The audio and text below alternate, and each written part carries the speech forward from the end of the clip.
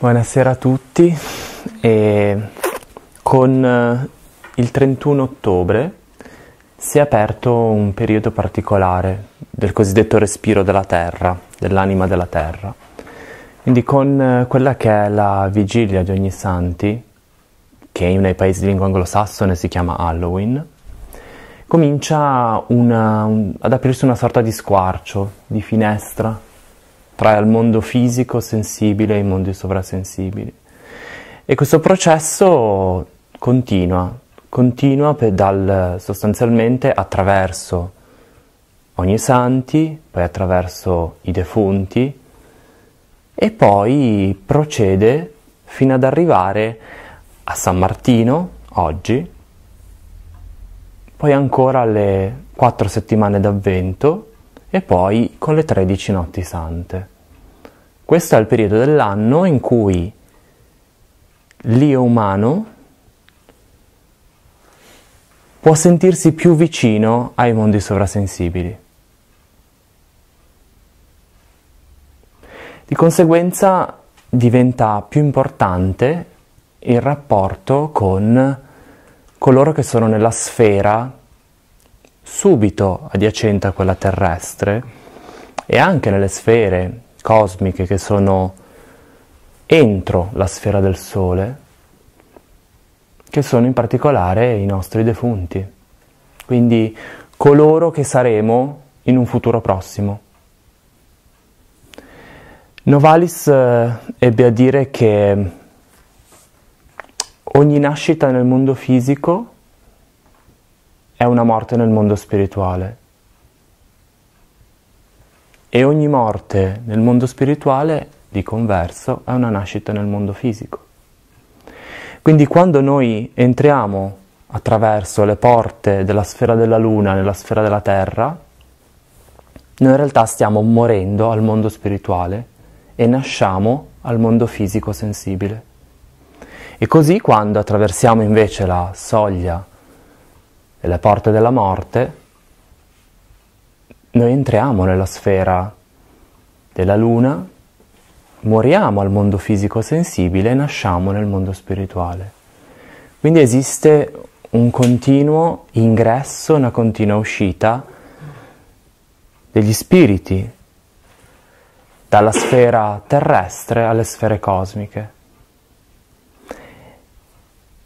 E la scienza dello spirito, una delle branche della scienza dello spirito, che si, si prodiga per dare una mappa e un vocabolario all'essere umano mh? Mm, e a renderlo capace di orientarsi già nel momento in cui siamo morti al mondo spirituale e siamo invece vivi al mondo fisico sensibile, così che poi, una volta attraversate le soglie della morte, riusciremo in qualche modo con questa mappa, con questo vocabolario che abbiamo messo insieme, riusciremo a avere dei punti di riferimento, a ritrovarci in qualche modo.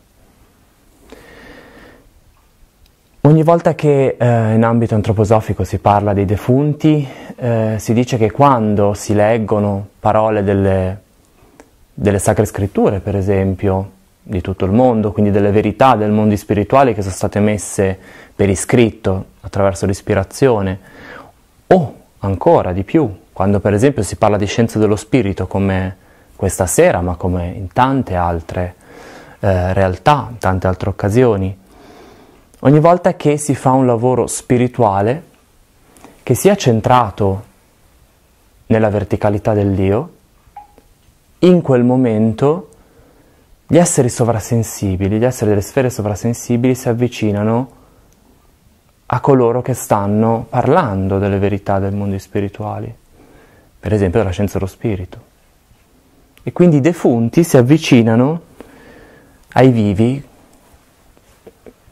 anche se forse dovremmo dire i vivi, i vivi nello spirito si avvicinano diciamo, a coloro che sono vivi fisicamente. Mm? oppure che sono morte allo spirito, si avvicinano per udire quello che possono ancora udire dai vivi al mondo fisico e che in qualche modo può rischiarare la loro vista dei mondi sovrasensibili. Quindi si raccolgono intorno a coloro che sono incarnati per imparare, perché essenzialmente l'essenza dell'incarnazione è un'essenza pedagogica, è un'essenza di, è una lezione di vita, nel vero senso della parola, la biografia. I defunti quando non hanno avuto modo o hanno avuto poco modo di approfondire queste realtà durante la loro incarnazione hanno bisogno di più luce e questa luce, questa luce sovrasensibile la trovano nei vivi che si occupano di realtà dello spirito.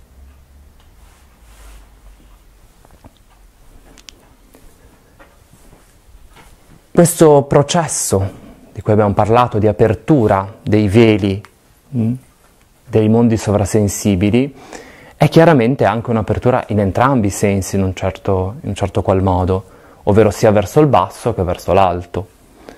Da questo per esempio derivano le tradizioni che, anglosassoni soprattutto, in cui Halloween ci si traveste da, eh, no, da mostri o piuttosto da creature infere. Questo si ricollega ad antiche tradizioni pagane. Dall'altro lato si aprono in realtà dei mondi superiori, per esempio quella dei santi, mm? coloro che sono non l'esempio del futuro prossimo, ma l'esempio del futuro un pochino più lontano del resto dell'umanità. I santi sono coloro che hanno intrapreso già un certo cammino di iniziazione, un certo cammino interiore e in particolare nel caso di quelli che chiamiamo santi nella tradizione cristiana sono santi dell'imitatio Christi, dell'imitazione del Cristo. Hm? Quindi che in qualche modo hanno ricapitolato le vicende della vita del Cristo, in un certo modo speciale, in un modo individuale, ma che attraverso la loro biografia sono riusciti ad ascendere a una sfera che non è più una sfera della mera personalità, quindi siamo nell'astrale, ma è una sfera che trascende l'astralità e arriva all'individualità, cioè archetipale. E sono un po' i, i leader, sono un po' i capi, no? Per questo che vengono, in un certo senso, arrivano prima, sono un po' il paradigma e poi, quindi il primo novembre i santi e il secondo i defunti. E nel caso di San Martino, oggi, tanto per fare un accenno, la nostra ricerca spirituale accende una luce nei mondi sovrasensibili, l'abbiamo detto prima. Quindi accende una luce che i defunti possono vedere. Quindi una luce sovrasensibile.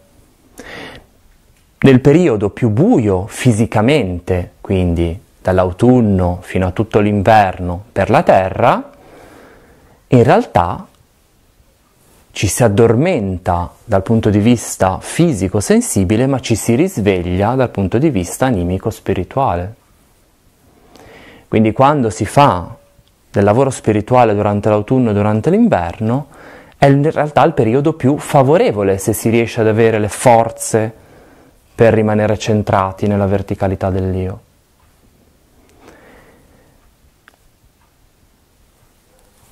E questo è il senso della luce che viene accesa in San Martino, no? A San Martino, le lanterne.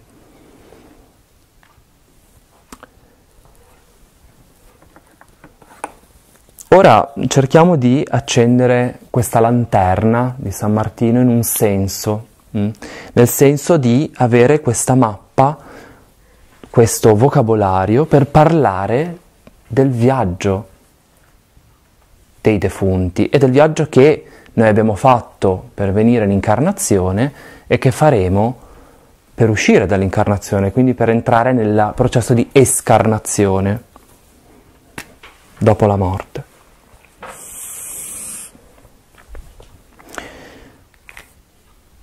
Questa è la nostra soglia dell'incarnazione e questa è la nostra soglia dell'escarnazione. Quindi qui abbiamo la nascita fisica e la morte fisica.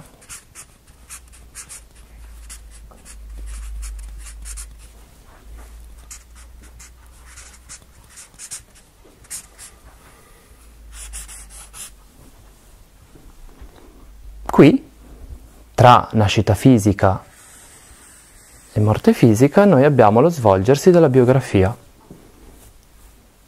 che possiamo rendere immaginativamente come questa U, questa curva. Mm? La U che euritmicamente è la vocale di apertura verso i mondi superiori. C'è una metà della vita, che da un punto di vista archetipale nella biografia corrisponde ai 33 anni,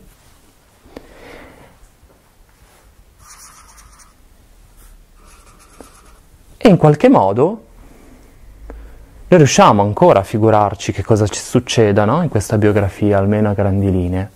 Nell'ambito antroposofico si fa una divisione in settenni, quindi si fa da 0 a 7, da 7 a 14, 14 a 21, 21 a 28,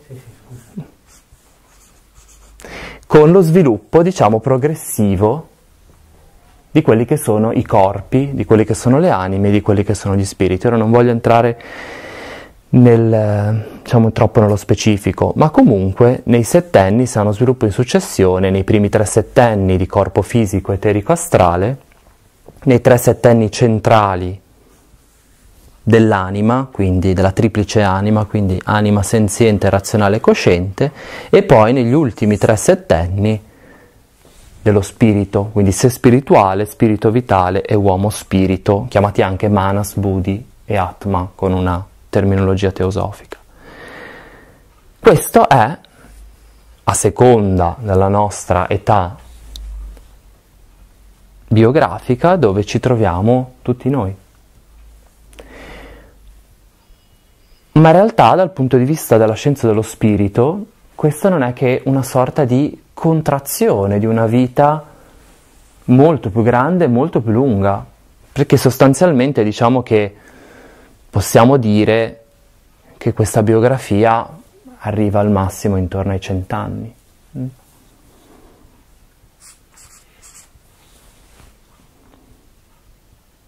E noi sappiamo che da un punto di vista della scienza dello spirito,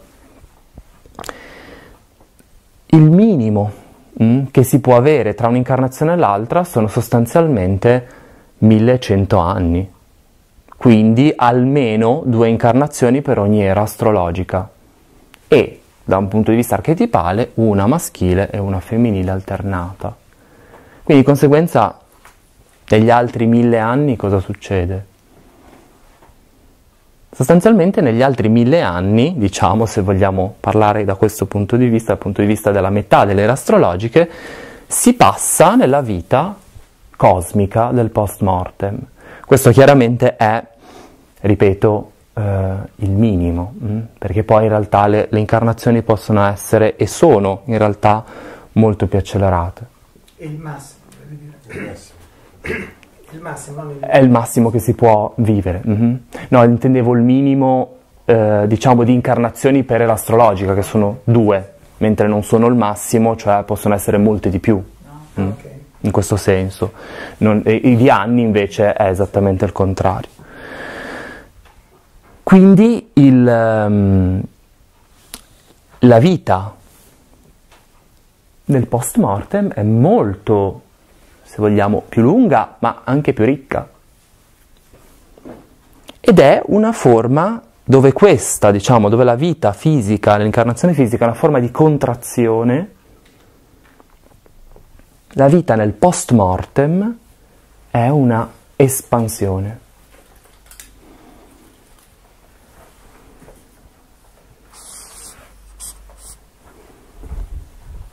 Quindi questa è la nostra sfera della Terra nella corrente del tempo e dello spazio. E quindi questo corrisponde al mondo fisico.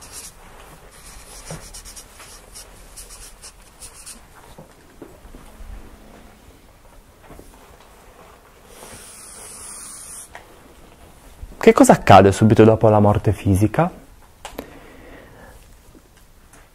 Qualcuno di voi ricorderà che l'uomo ha una composizione, diciamo, è molteplice, non è unitario. L'unica sua parte unitaria sostanzialmente è l'io. Ma l'uomo può essere visto come una sorta di matriosca dei corpi. L'abbiamo citati prima, corpo fisico, eterico, astrale e poi il principio dell'io che non è un corpo. Quindi quando noi attraversiamo le porte della morte fisica, è il momento in cui il corpo eterico corpo vitale comincia a staccarsi in modo importante, quindi sempre, progressivamente, sempre di più, dal corpo fisico. Il corpo fisico che è riempito dalla materia minerale viene abbandonato dal corpo eterico vitale, che si espande nella sfera subito successiva a quella della Terra che è la sfera della Luna.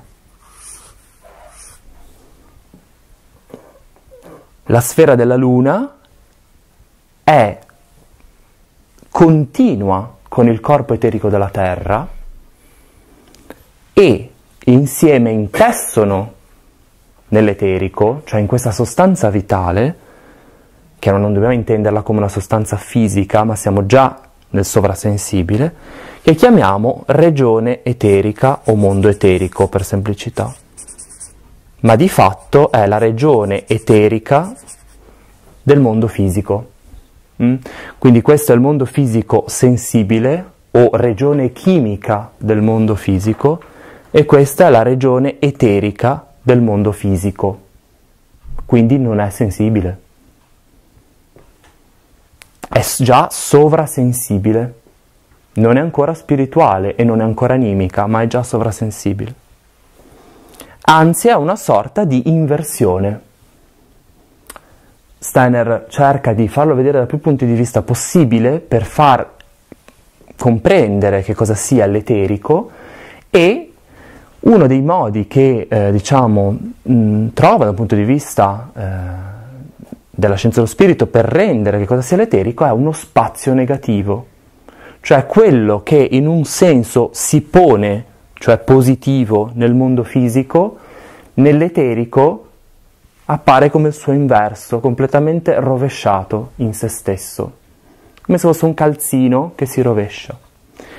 E di conseguenza il corpo eterico, che è il corpo dove si imprime la memoria e quindi essenzialmente il tempo, cioè la successione dei settenni nella nostra biografia, quando arriviamo alle porte della morte si rivolta come un calzino e quindi da quella che è una dimensione temporale diventa una dimensione spaziale.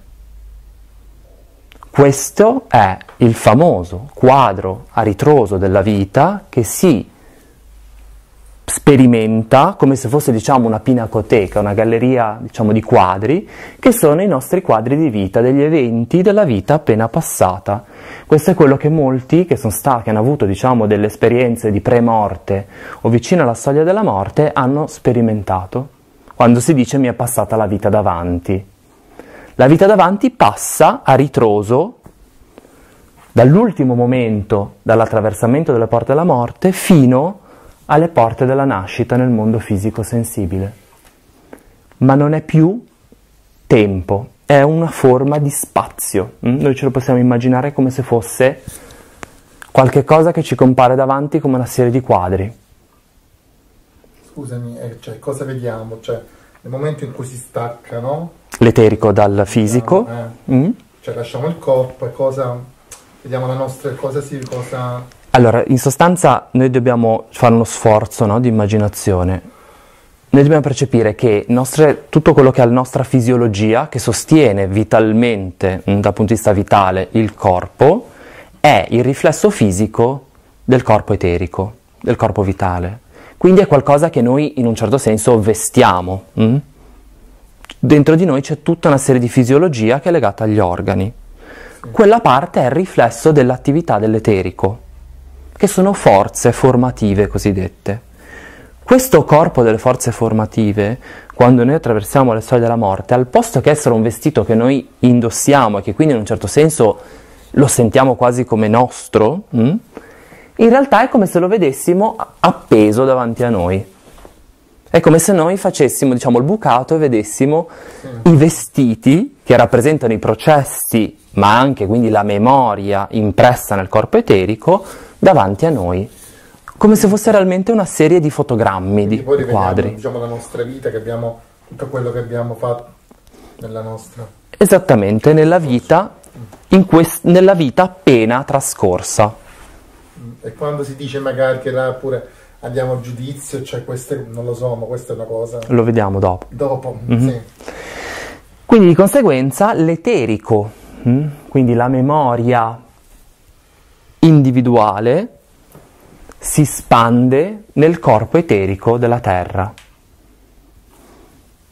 Nel caso di persone, diciamo, che hanno avuto una vita, ehm, diciamo, senza seguire una via esoterica, ecco, diciamo in questo senso, le impressioni mnemoniche del corpo eterico si dissolvono almeno in parte, tranne quelle che hanno a che fare con l'esperienza dell'io, mm, nel corpo eterico della Terra e ritornano a far parte del corpo eterico che è in testa tra la Terra e la Luna. Nel caso invece di iniziati che hanno lavorato fino a un certo grado di strutturazione del corpo eterico attraverso il proprio io, il corpo eterico può rimanere intatto durante la- questa, diciamo, questa fase, non si dissolve ma rimane intatto. Questo per esempio è il caso dei santi di cui parlavamo prima, ma anche di altri iniziati. mm?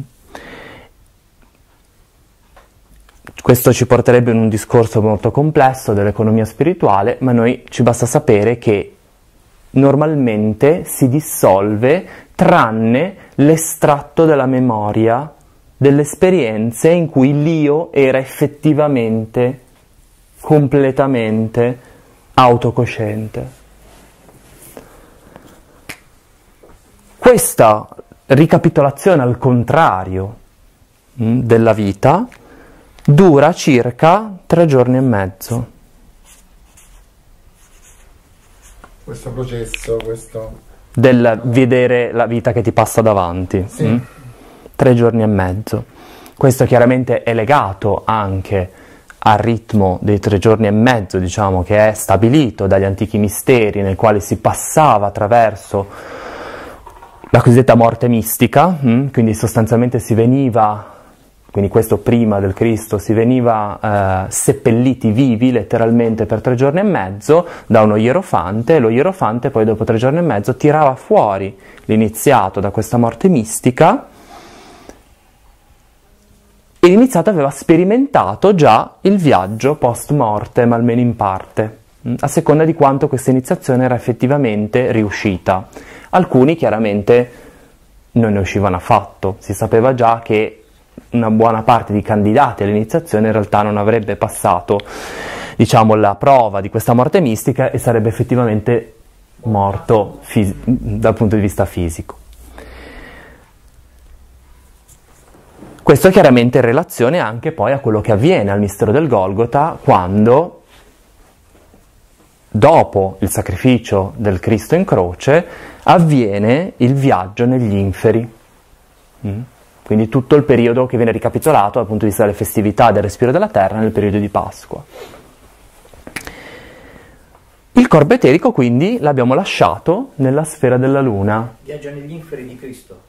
sì, del eh, cosiddetto, o viene chiamato anche eh, il viaggio tra i defunti, mm? perché nell'antichità, nell'antichità greca gli inferi erano il luogo dove di- dimoravano i defunti, quindi non necessariamente gli inferi come li intendiamo, l'inferno come intendiamo Dante, che lo vediamo adesso, peraltro, e, mm, che è uno stato dell'essere sempre, no? Quindi di conseguenza il viaggio del Cristo nelle sfere della terra, dal momento in cui viene eh, sostanzialmente sepolto, in quel momento il viaggio del Cristo, dello Spirito del Cristo all'interno della terra va a lavorare nel mondo dei defunti, in piena coscienza ovviamente, perché si sta parlando di uno spirito solare, non si sta parlando di un, eh, un io umano. Ecco.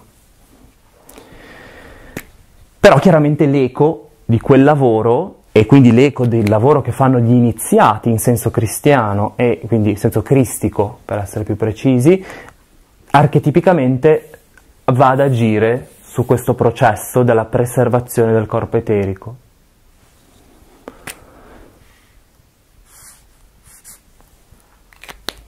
La sfera della Luna noi dobbiamo, io qui l'ho rappresentata come sostanzialmente separata da quella della Terra e separata poi dalla sfera successiva che è quella di Mercurio. Però noi dobbiamo immaginarci che esista comunque una sorta di gradualità, mh? che sfumino i piani dell'uno, i sottopiani di una sfera nei sottopiani di quella successiva.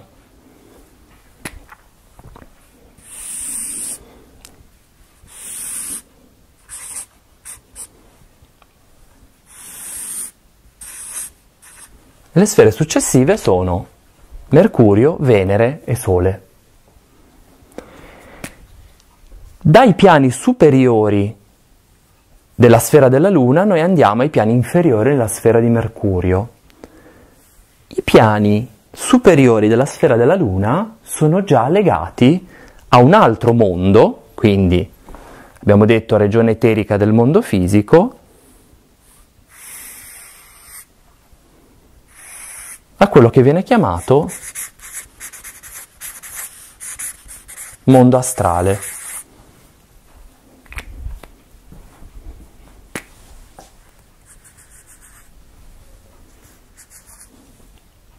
Il mondo astrale, di cui la maggioranza, diciamo, arriva poi a sfiorare i sottopiani superiori della sfera di Venere, arrivano a sfiorare quella che è la sfera solare un mondo astrale che è il mondo delle sostanzialmente quelle che noi chiamiamo immaginazioni.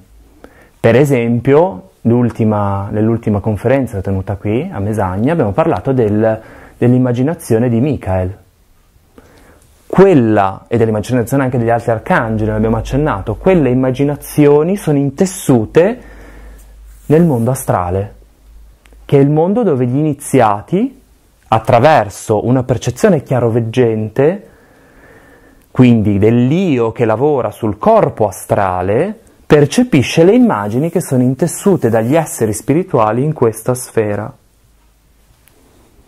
E per parlare di esseri spirituali, la sfera della Luna è legata agli angeli, la sfera di Mercurio agli arcangeli e la sfera di Venere alle arcai o principati.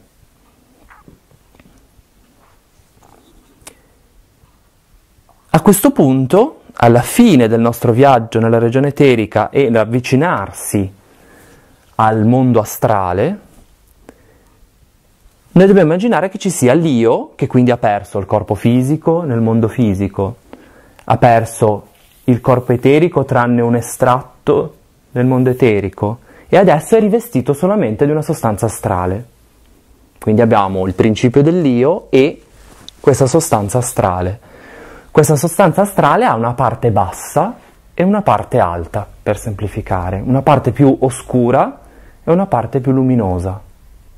La parte più oscura è legata agli strati alti, ai sottopiani alti della sfera della Luna e a quelli più bassi della sfera di Mercurio. Questo, questa regione, è quella che viene chiamata Kamaloka, con una terminologia teosofica, o purgatorio.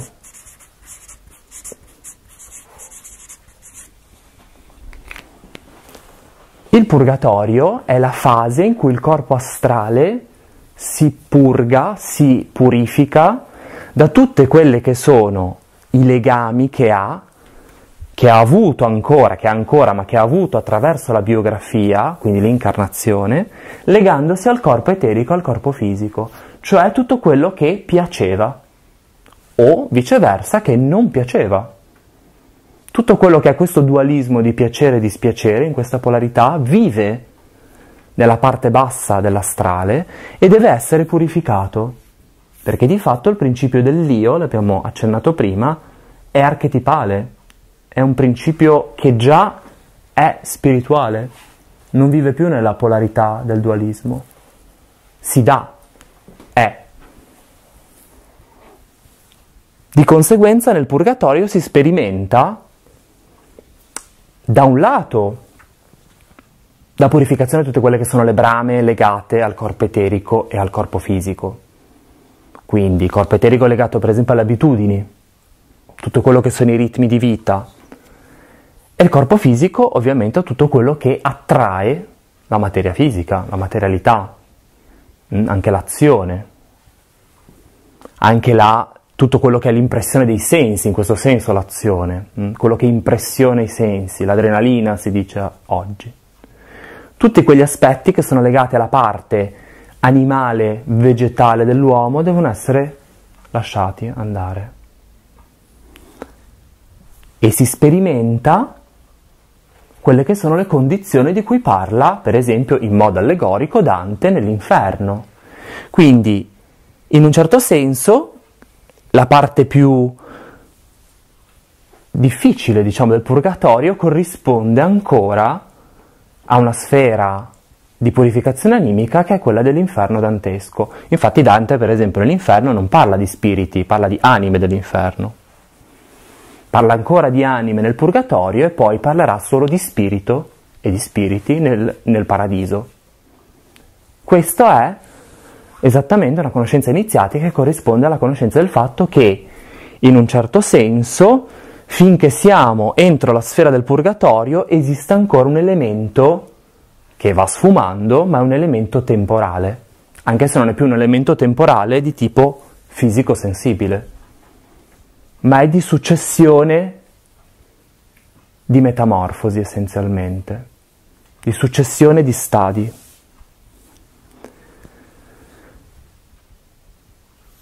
Un altro dei processi di purificazione che avvengono nel purgatorio, nel Kamaloka, è quello di sperimentare il male fatto agli altri. Il male fatto agli altri ci viene int- intorno, ci arriva da tutte le direzioni, fatto a tutti gli esseri senzienti, quindi anche agli animali. Mm? E noi siamo degli osservatori, così come eravamo degli osservatori nella regione eterica, della nostra apertura e espansione del corpo eterico, lo siamo nella purificazione della parte bassa dell'astrale. Quindi, che avviene con, so, che avviene con, soffer- con sofferenza. Cioè. Con una forma di sofferenza. Stiamo parlando ancora di questo stadio infernale barra purgatorio. Mm? Che va da un'esperienza infernale fino a quella del purgatorio. Quindi stiamo parlando ancora del contrappasso dal punto di vista di Dante, mm? cioè un bilanciamento. Se si è avuto troppo si deve cercare di ridurre e se invece si è avuto troppo poco si deve cercare di aumentare. Di bilanciare, insomma. Di... È una forma di bilancio. Peraltro, eh, nell'ambito, per esempio, dantesco, della, quindi di quello che è la cosmogonia, cosmogonia dantesca, tutti quelli che sono i peccati per eccesso sono in un certo senso meno gravi dei peccati per difetto. Perché in effetti nell'eccesso c'è comunque un desiderio della brama di vivere, mentre in quelli per difetto c'è una privazione della propria vita agli altri è meglio commettere qualche errore in più che, che reprimere. Esattamente. Che questo è dimostrato per esempio dalle vite dei santi, che in un certo senso si dice sono passati da un estremo all'altro, ma perché? Perché fondamentalmente di fondo c'era una brama di vita e la brama di vita ricerca che cosa in realtà, anche sbagliando, ricerca il significato spirituale. Anche se lo fa nei modi sbagliati magari, nei modi che non portano allo spirituale. Una volta che si è sperimentato questo pareggio da un punto di vista eh, del basso astrale, si vive nell'astrale che diventa, diciamo, dei piani medi fino ai piani superiori dell'astrale, fino quindi alla sfera superiore di Venere e ai sottopiani superiori della sfera di Venere. Qui è dove sostanzialmente alcune eh, anime sperimentano quella che era una loro antica inclinazione. Mm? Steiner racconta che quando a un certo punto nell'era remurica, quindi ai tempi del peccato originale, la terra si stava irrigidendo troppo, le anime umane sono uscite dalla sfera terrestre e sono andate in altre sfere planetarie. Ancora oggi, quando le anime entrano dalla porta dell'incarnazione, portano con sé una sorta di tintura planetaria. Questa tintura planetaria, che ha a che fare con Mercurio, Venere, eh, Marte, Giove, viene portata nell'incarnazione. Alcune anime, per esempio, che sono inclini più ad essere mentali, sono legate più facilmente alla sfera di Mercurio, quelle che invece sono più artistiche, per esempio, alla sfera di Venere. Questo è qualcosa che esiste ancora però a livello animico, non a livello dell'io. Hm? Quindi a un livello che è pur elevato, superiore già all'astrale che è più animale, ma comunque non ancora propriamente spirituale, che di fatto l'io, ripet- si ripete anche qui, archetipicamente è. Quindi è oltre, diciamo, questo aspetto di tintura planetaria. Si arriva dunque in cui, diciamo, in questo viaggio abbiamo dissolto l'astrale nel mondo astrale, quindi prima si dissolve in un certo senso con dolore, poi si dissolve invece sempre di più con una sorta di gioia e si giunge alla sfera del Sole si giunge alla sfera del Sole dove quello che noi chiamiamo io sulla Terra, che in realtà è un'emanazione di qualche cosa che esiste molto al di sopra, l'io superiore, che ha la dimora sul Sole. Questa per esempio è l'immagine, se avete visto per esempio eh, bassorilievi del periodo di Akhenaton, di questo disco solare Aton che invia una mano che tocca in quel caso lì la famiglia reale, ma comunque tocca quelli che sono in incarnazione. Quella mano è quel, quel raggio dell'io superiore che dalla sfera del sole si incarna sulla terra. Ma di fatto è come se fosse questa mano che si ritira e si ritira sulla sfera del sole. Dov'è a casa? Perché nuovamente nell'era lemurica l'uomo che passa al suo stadio animale a quell'epoca riceve l'io come dono dalla gerarchia angelica del sole, gli Elohim o podestà, gli spiriti della forma. Mentre questa, quindi dal sole, dalla sfera del sole in giù, verso la terra, quindi qua andiamo verso lo spazio e il tempo, mh, hm, verso la terra, Qui invece andiamo verso l'archetipale, quello che è al di fuori dello spazio del tempo. Qui, dalla sfera di Venere in poi, andiamo verso la personalità, dalla sfera di Venere in su andiamo verso l'individualità.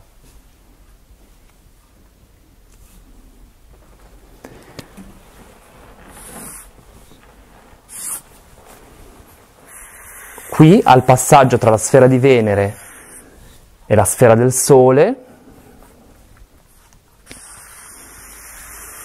abbiamo un altro mondo che viene chiamato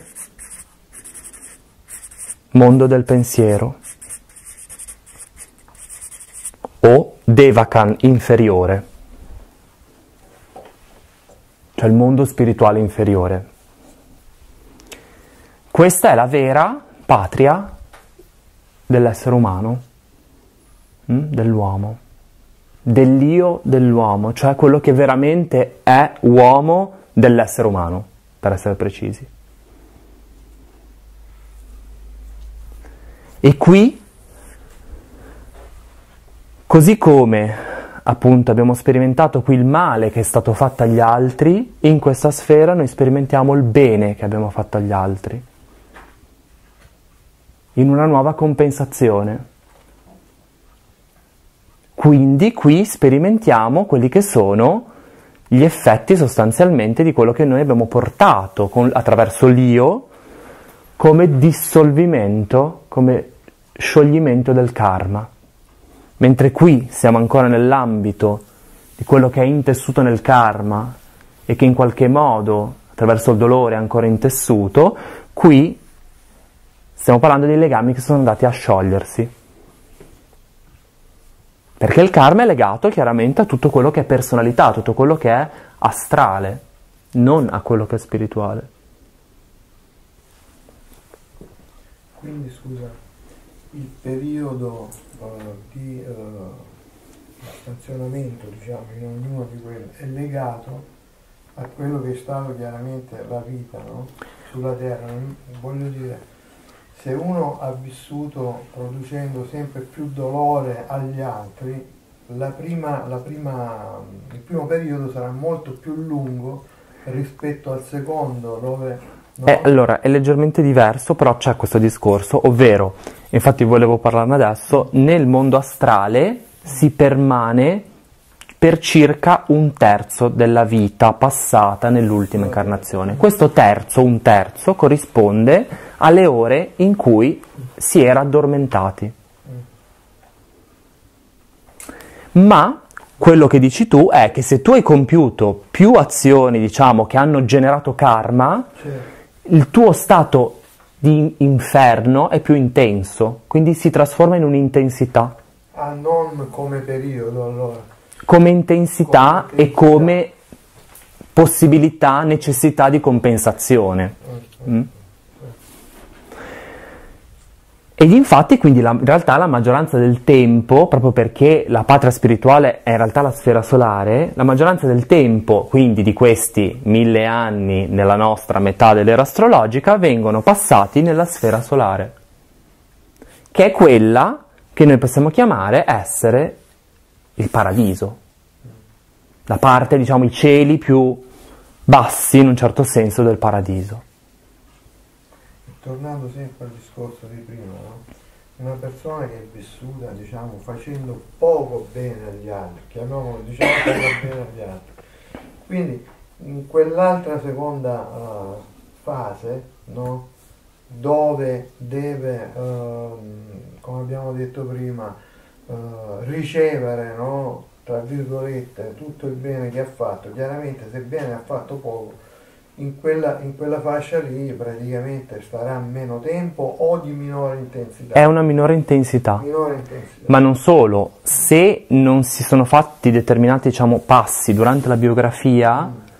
la maggioranza del tempo nel post mortem mm. non ha una visione chiara ma ha una visione che diventa man mano più offuscata, perché servono sempre più forze di coscienza per salire da una sfera all'altra mantenendo uno stato di coscienza. Addormentato praticamente. Però scusami, però stiamo attenti perché il concetto di tempo e di spazio è, è differente. Ma infatti, ma infatti non, non è... Il tempo è nel, nel, fisico. Ma infatti è il tempo per noi incarnati. Il tempo per noi incarnati, eh. Chiaro. lì cambia tutto. Certo, è il tempo rispetto a noi incarnati, cioè del ritorno. Chiaramente io, qui l'abbiamo detto, no? Il tempo e lo spazio sostanzialmente finiscono già qua. Certo. Ma noi possiamo ancora fare dei ragionamenti dal punto di vista del tempo, ma dal punto di vista del tempo di noi incarnati. Di noi incarnati. Volevo fare un'osservazione rispetto a questo, scusa se parlo, però. Se si facesse l'esercizio dell'introspezione, retrospettiva, eh, scusa, mm-hmm. sì, retrospezione, la sera, mm-hmm. io arriverei, praticamente se la faccio bene, se la faccio ben fatta così, arriverei al momento in cui mi sveglio. Sì. E quindi in un certo senso mi collegherei al periodo in cui di sonno in cui non ero, non ero sveglio. Mm-hmm. Questo elemento potrebbe, domanda, cioè, potrebbe influire sui, sul 30% che noi passiamo a dormire? No, l'esercizio della retrospettiva, retrospettiva, serale, quindi prima di andare a dormire ricapitolare la giornata trascorsa dal momento in cui si va a dormire fino al momento in cui ci si è svegliati. La revisione, la rivista, la revisione chiamata anche della giornata, che è la, diciamo, una forma più microcosmica di quello che è la revisione, la scompaginazione del corpo eterico al momento del passaggio della soglia della morte fisica, velocizza e in qualche modo va già a lavorare in anticipo su quella che è la regione eterica, ma anche su quella del purgatorio. Perché si va a lavorare sulla percezione degli eventi.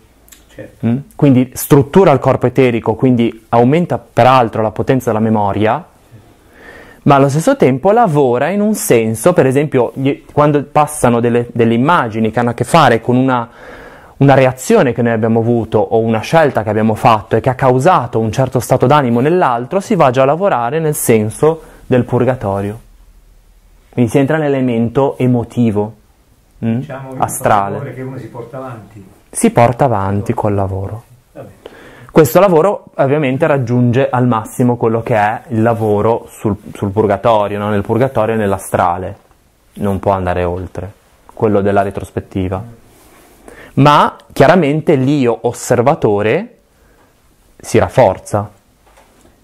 Sì, potrebbe anche, se, se lui è cosciente dei torti che ha commesso, potrebbe anche rimediare prima di, di Esattamente. capirlo. E si va sempre a lavorare in questa sfera entro il mondo astrale, tra la regione eterica e il mondo astrale.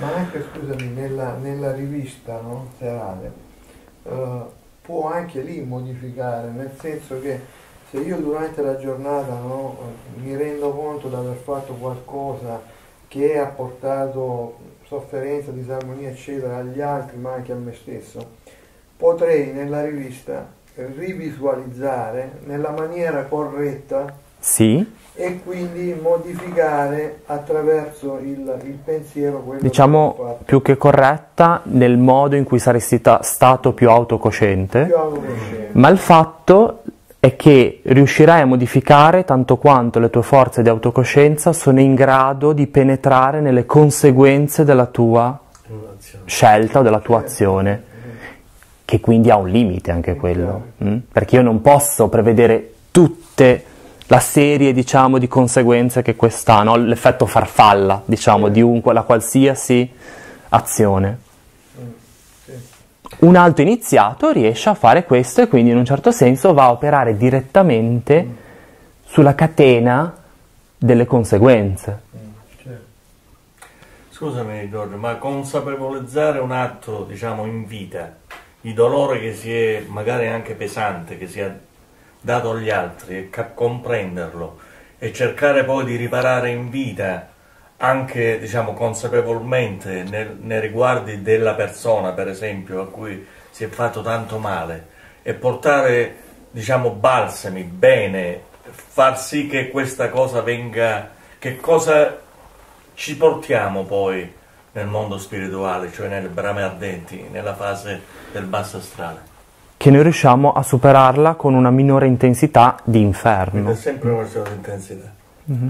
È sempre que- una questione di coscienza. È una questione di Beh, coscienza. Noi ovviamente utilizziamo dei termini che sono Sì. per noi sensati, ma chiaramente noi dobbiamo considerare che questi sono tutti stati dell'essere, che peraltro noi abbiamo delle terminologie inappropriate per descriverli, no? quindi per questo si va nell'allegoria tipo la Divina Commedia. Però parlando del mondo del Deva Chan o Deva Mm. Così, hai detto che si sciolgono i, i nodi karmici. No, si sperimenta ciò che si è sciolto dei nodi karmici nell'incarnazione. Ma noi ne portiamo di nodi karmici. Eh Sì, ma chiaramente, ma quella, quel, quel karma viene portato nell'incarnazione successiva Sì, sì. come estratto del corpo astrale. Voglio dire, i rapporti con i parenti, con le persone a cui sei stato affettivamente legato, quelli rimangono nella prossima nella vita. Sì, ma vengono completamente riorganizzati su altre basi. Certo, certo. Ma noi una parte del karma in qualche modo ci avremmo lavorato pur sopra anche per una minima per- parte, no? Quella parte che si è sperimentata e che si è riusciti a dissolvere si sperimenta, ritorna, così come qui ci è ritornato il dolore inflitto, qui ci ritorna il karma dissolto, cioè le conseguenze della dissoluzione del karma, quindi positivo in un Sì, senso, e non di, posi- di positivo o negativo, ma nel senso di quello che è l'equilibrio rispetto al mondo spirituale. Mm? Quindi non siamo più nel dualismo, Sì. se vogliamo dirlo in un altro modo. È il bene superiore mm? che non è contrapposto a un male. È la libertà. mm? Qua nella metà della vita i primi 33 anni sono, si, si, dice nell'ambito dello studio di biografia che si è sotto il karma lunare, dai 33 anni circa, 33-35 in poi, si è nella libertà solare. Nel karma lunare noi sperimentiamo quello che del karma delle incarnazioni precedenti ci portiamo dietro e viene elaborato sotto forma dei corpi fisico, eterico, astrale. Nella libertà solare noi operiamo su quel karma per cercare di scioglierlo. Quindi la sfera successiva, quella di Marte, quella ancora successiva, quella di Giove, e quella ancora successiva di Saturno.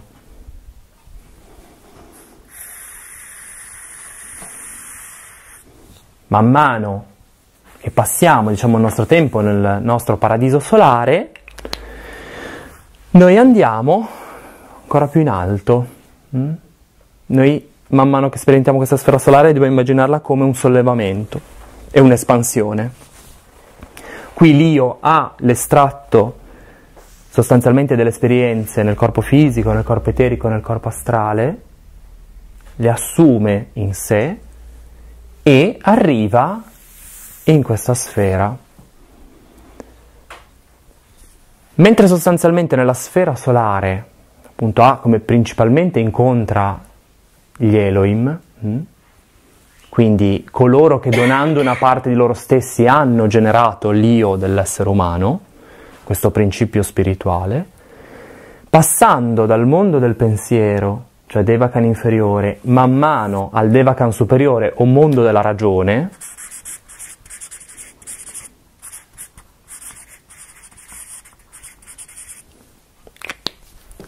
sperimenta delle gerarchie sempre più elevate.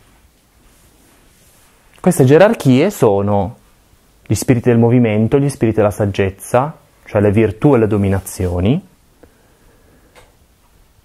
di cui le virtù hanno donato il corpo astrale e le dominazioni hanno donato il corpo eterico, poi i troni che hanno donato il corpo fisico all'essere umano e infine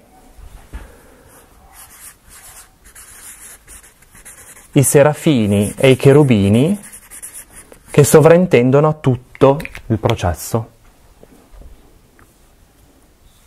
Quando l'essere umano oltrepassa la sfera degli Elohim, percepisce quanto lavoro c'è ancora da fare, perché queste gerarchie sono talmente sublimi che il loro essere ispira il lavoro futuro, non solo dell'uomo, ma anche della gerarchia che ha generato l'uomo, cioè gli Elohim. Quindi le virtù, che peraltro gli spiriti del movimento che coordinano per esempio tutti i movimenti celesti, delle sfere celesti, gli spiriti della saggezza, le dominazioni, che a loro volta infondono la saggezza, che è quello che rende intellegibile il mondo, per esempio il fatto che esista, che ne so, matematica, fisica, chimica. Le leggi del mondo fisico sono originati dal fatto che esistono degli esseri che sono saggezza in loro stessi. E i troni che col loro essere hanno donato, con loro sostanza di calore, hanno donato il fondamento della realtà fisico-materiale, che poi è decaduta, ma di fatto è stata donata da una gerarchia estremamente elevata. Tutto quello che noi diamo più per scontato, che è più fondamentale, in realtà trae fondamento dai mondi spirituali che sono più elevati. Quindi, per esempio, quando si arriva nella sfera di Marte, nella sfera di Giove, nella sfera di Saturno, l'uomo vede gli spiriti di gruppo della natura e quando sperimenta che cosa sono realmente gli spiriti di gruppo della natura, quindi non stiamo parlando degli esseri elementali mh, mm, che sono legati alla sfera eterica, stiamo parlando degli spiriti, cioè degli io che vivono, che coordinano tutte le specie di un determinato animale, tutte le specie di un determinato vegetale, tutte le specie di un determinato minerale. Quando arriva a contemplare queste sfere del mondo della ragione, l'uomo vede che l'animale incarna una saggezza che è superiore a quella che lui possiede. L'io dell'animale. Lo spirito di gruppo. Sì, sì, mm? sì. Lo stesso nel vegetale vede che possiede delle forze, delle forze di bellezza che sono superiori a quelle che è in grado di esprimere. E ancora di più, ancora di più degli animali, ancora di più dei vegetali, vede gli spiriti di gruppo dei minerali che esprimono nella loro apparente semplicità il pensiero della prima gerarchia, quindi troni, cherubini e serafini. Di conseguenza l'uomo viene ispirato a fare, quindi non gode in un certo senso questo aspetto di godimento, quindi da un punto di vista diciamo di mi sento a casa, torno a casa, diventa una sorta di forse c'è ancora del lavoro da fare. Infatti volevo chiedere questo, che differenza c'è fra il mondo del pensiero e il mondo della ragione?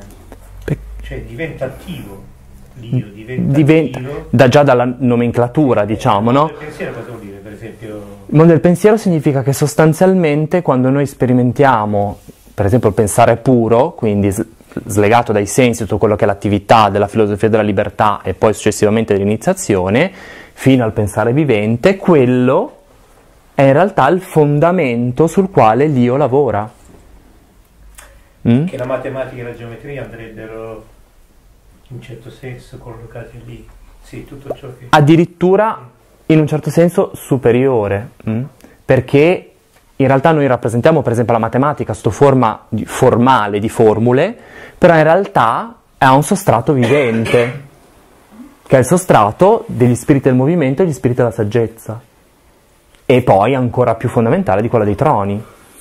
Quindi di fatto noi quando studiamo queste materie che sono sempre più complesse, infatti si può diciamo anche in un certo senso perdere il contatto con la realtà, è perché la loro scaturigine originale, seppure noi ne studiamo una sorta di ombra morta, la scaturigine è, è molto elevata. E anche la musica, per esempio. Il mm? artistico dove... Ah, Qui. nella strada. Nella sfera di Venere e di Mercurio. Chiedo scusa, magari facciamo finire Sì, l'esposizione sì, e eh. poi fate le domande, altrimenti diventa dispersivo. Quindi l'io, con l'estratto, diciamo, quindi a questo punto siamo nell'io superiore addirittura, mm? che è come se inviasse al posto che un suo raggio verso il basso, invia un suo raggio verso l'alto, va verso queste sfere più elevate. Attraverso queste sfere più elevate raggiunge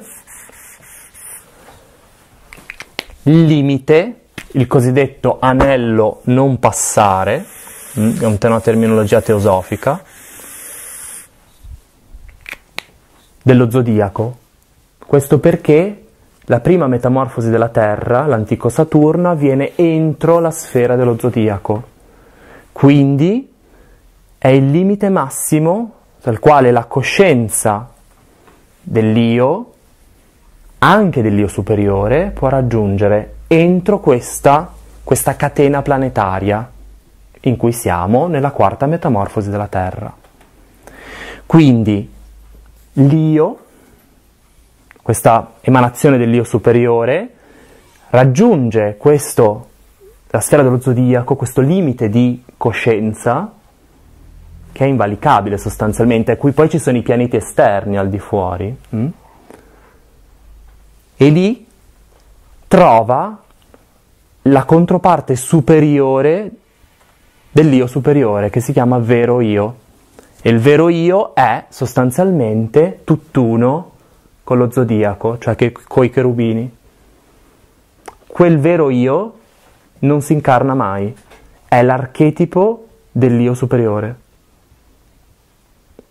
Quindi in sostanza abbiamo tre io, il vero io, l'io superiore e l'io che si incarna.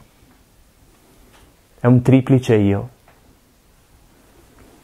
Il vero io è quella sfera da cui scaturisce il logos. Il logos che diventa Cristo nella sfera del sole, cioè lo spirito del sole, l'eloa del sole, e poi diventa Cristo Gesù incarnandosi in Gesù di Nazareth al battesimo nel Giordano ai 30 anni. E qui è dove si intreccia una dimensione macrocosmica con una microcosmica. L'io, in accordo con ger- queste gerarchie superiori, fino ai troni, che sono coloro, ripeto, che hanno donato il corpo fisico originariamente nell'antico Saturno, aiutano al momento in cui si passa la mezzanotte cosmica l'io a ridiscendere nell'incarnazione, perché c'è ancora del lavoro da fare. Ci sono gli spiriti di gruppo di minerali che ce lo dicono, quelli degli vegetali e quelli degli animali, così come le gerarchie che li hanno generati, che sono superiori alle gerarchie che hanno generato l'io umano.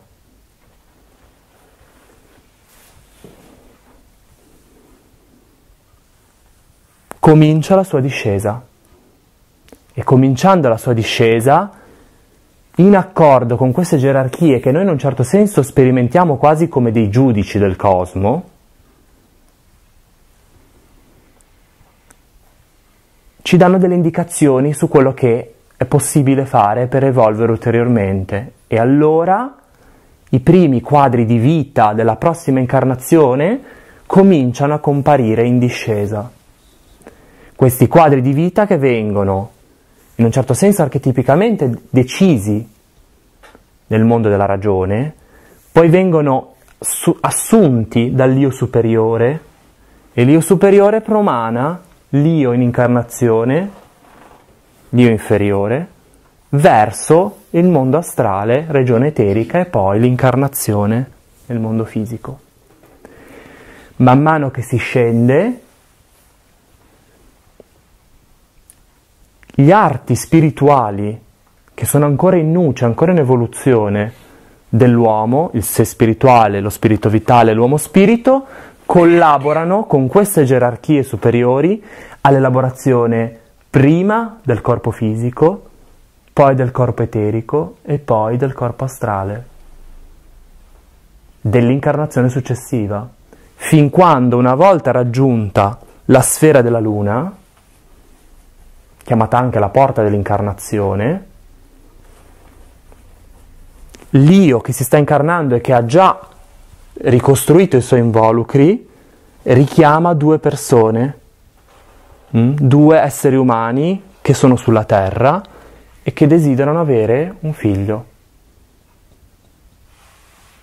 Cioè l'io che si incarna sceglie i propri genitori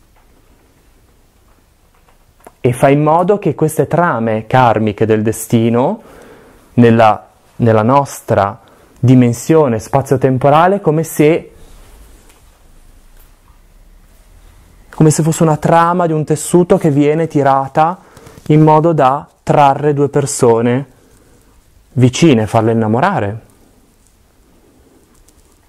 per far sì che quest'io si incarni.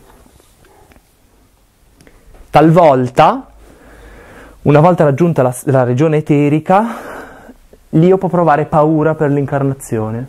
Questa è una fase estremamente delicata, perché in questa fase, così come avevamo ricapitolato al contrario la vita che abbiamo appena passato al momento della morte fisica, poco prima, quindi nella regione della luna, poco prima dell'incarnazione fisica, della nascita fisica, si sperimenta in anticipo tutti i quadri principali della vita futura.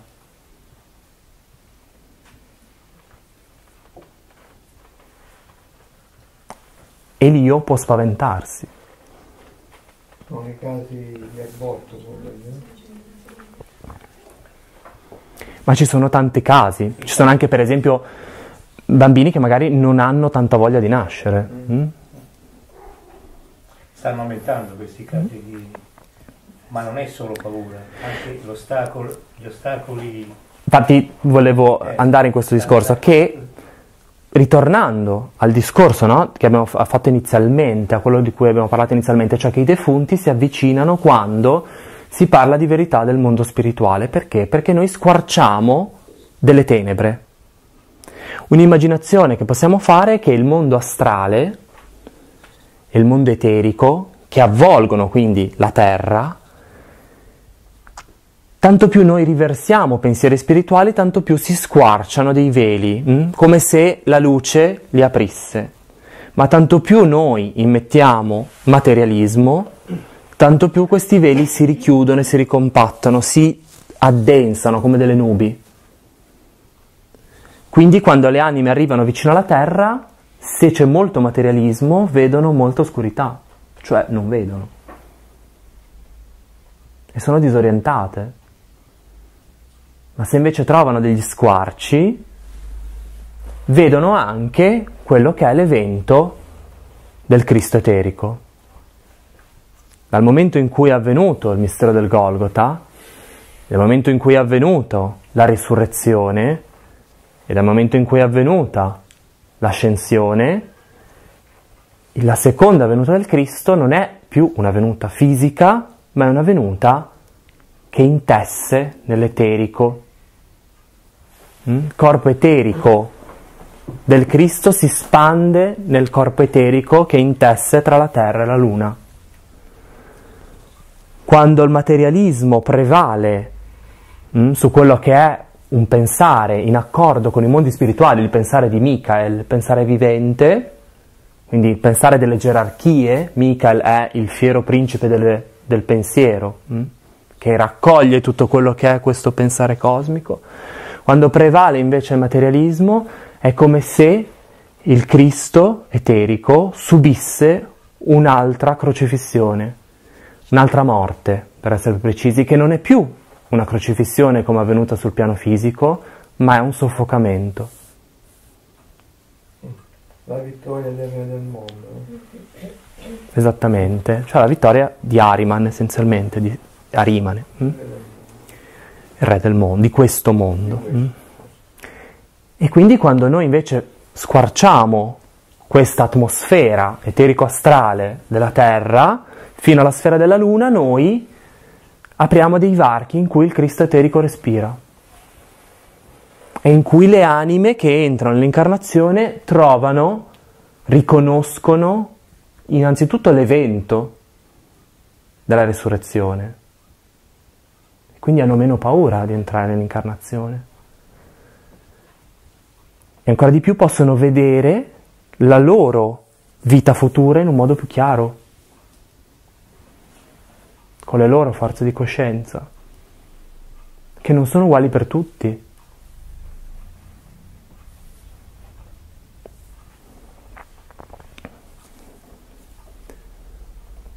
Quindi questo processo che lega da vicino i vivi e i morti, hm? questi defunti che sono vicini a noi, perché in realtà poi queste sfere noi ce le immaginiamo, le vogliamo rappresentare in un certo senso per comprenderle come se fossero gli strati di una torta, no? uno sopra l'altro, ma in realtà non è così. Sono una inanellata nell'altra, sono una sfera dentro l'altra, quindi qui esattamente dove siamo noi a Mesagna esiste la dimensione della sfera dello zodiaco come quella di Saturno e così via. Sono come una dentro l'altra. Mm? Es- come i nostri corpi. No? Esattamente, sono corpi macrocosmici, retti dalla coscienza delle gerarchie, ognuno con il suo grado di coscienza. Quindi chiaramente gli angeli possono arrivare al massimo, per esempio, alla sfera della Luna. Gli arcangeli a quella di Mercurio, l'arcaia a quella di Venere, gli Elohim a quella del Sole, le virtù a quella di Marte, le dominazioni a quella di Giove e i troni a quella di Saturno. Ma il pensare, diciamo, il sentire e il volere di queste gerarchie, dalle più alte andando diciamo, a quelle più basse, si compenetrano uno nell'altro.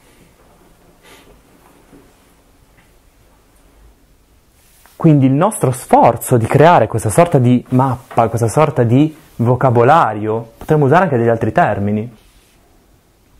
E potremmo usare anche un'altra mappa, però questa ci è ancora comprensibile. E dunque ci aiuta a aprire quei varchi, ci aiuta a connetterci, a unirci ai defunti. E aiuta i defunti che sono vicini alla sfera terrestre a muoversi in questi varchi di luce, in questi sentieri di luce intessuti da pensieri spirituali. Quando noi facciamo un lavoro di tipo spirituale, una preghiera, un mantra, meditazione, rivolta ai defunti, quando noi leggiamo alcune eh, composizioni, alcuni versi mantrici per esempio, noi apriamo questi varchi e se ci sono delle, dei defunti che sono troppo legati alla sfera terrestre, questi si sentono sollevati, è come se noi eliminassimo quell'oscurità che li trattiene legati alla sfera terrestre. Quindi anche delle persone che sono state legate troppo al materialismo, grazie a questo tipo di lavoro interiore di altri, ne vengono liberati, gli vengono in un certo senso aperti gli occhi.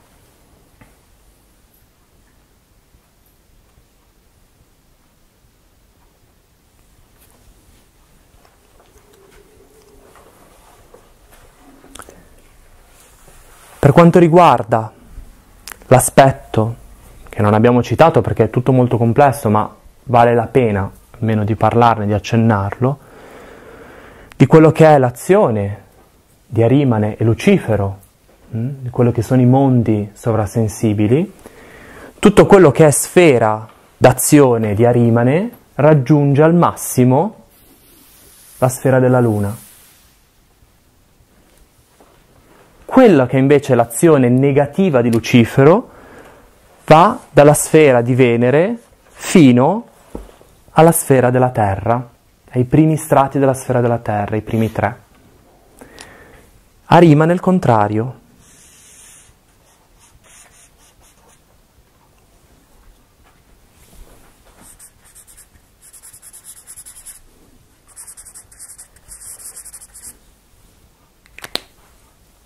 Il materialismo può agire, l'abbiamo visto prima, fino a questa sfera, la sfera della luna.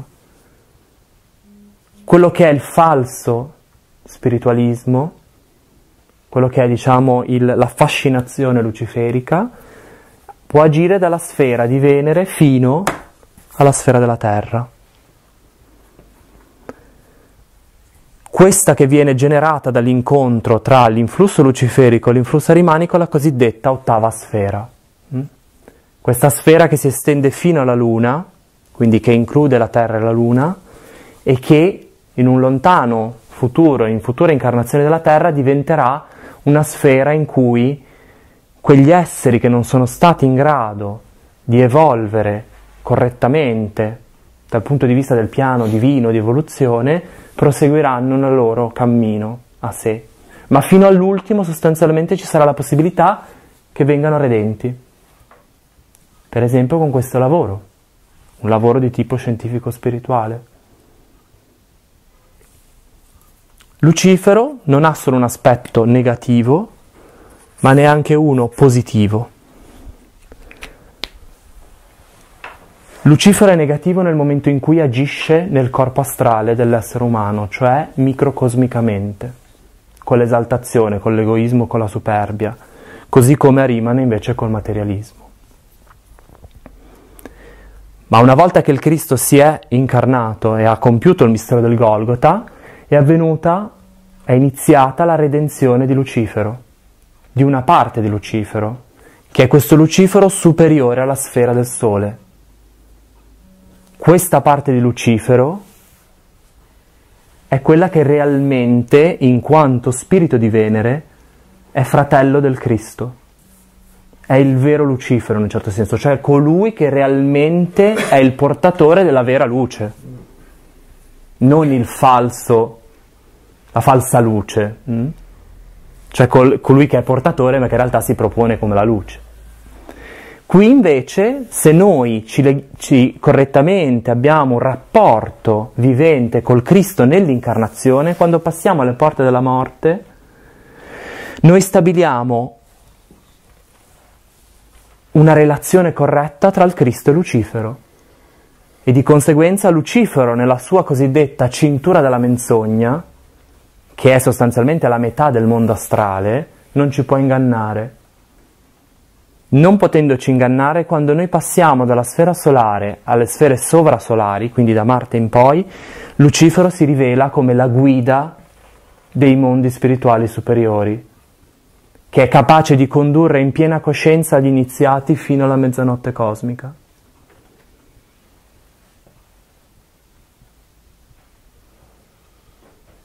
Questo è quello di cui per esempio alcuni eh, alcune tradizioni, per esempio manichee, mh, hm, anche i catari, parlavano di Lucibel, cioè quel Lucifero che già sta diventando il nuovo Spirito Santo, il Paracleto.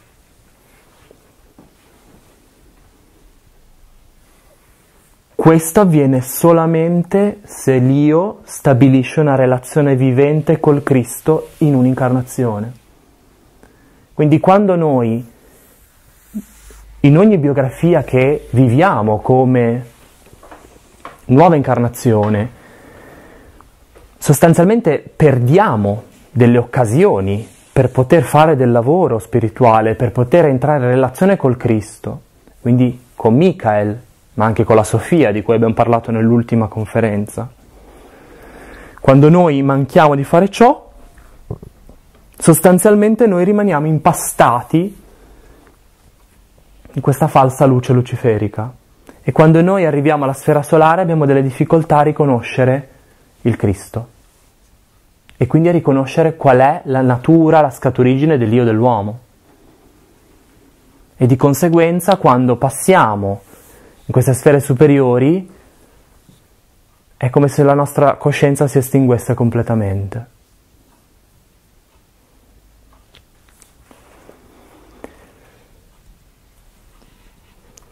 Tutto questo processo, per concludere, è sotto l'egida, abbiamo detto, dei serafini e dei cherubini e i troni che fanno parte della prima gerarchia. I troni vengono chiamati anche spiriti della volontà, quindi la volontà che regge i mondi. I cherubini gli spiriti dell'armonia e sono gli spiriti che reggono la sfera zodiacale e i serafini, gli spiriti dell'amore, reggono tutte le altre sfere contemporaneamente e altre sfere di altre catene planetarie.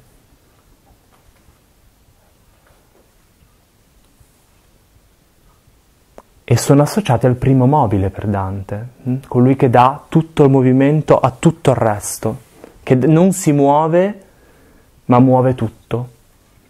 E sono tutt'uno con l'amore della Trinità, che sta al di fuori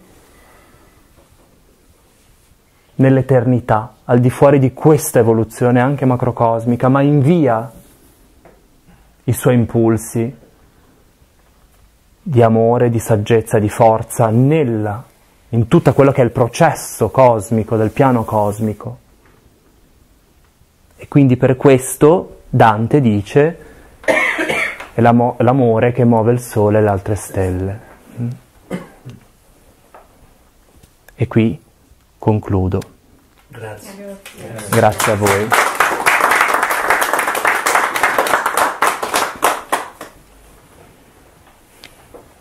E sono... Aspetto le vostre domande, sono in attesa. Come molti raccontano che vedono passare la vita davanti a sé nel momento del pericolo, no?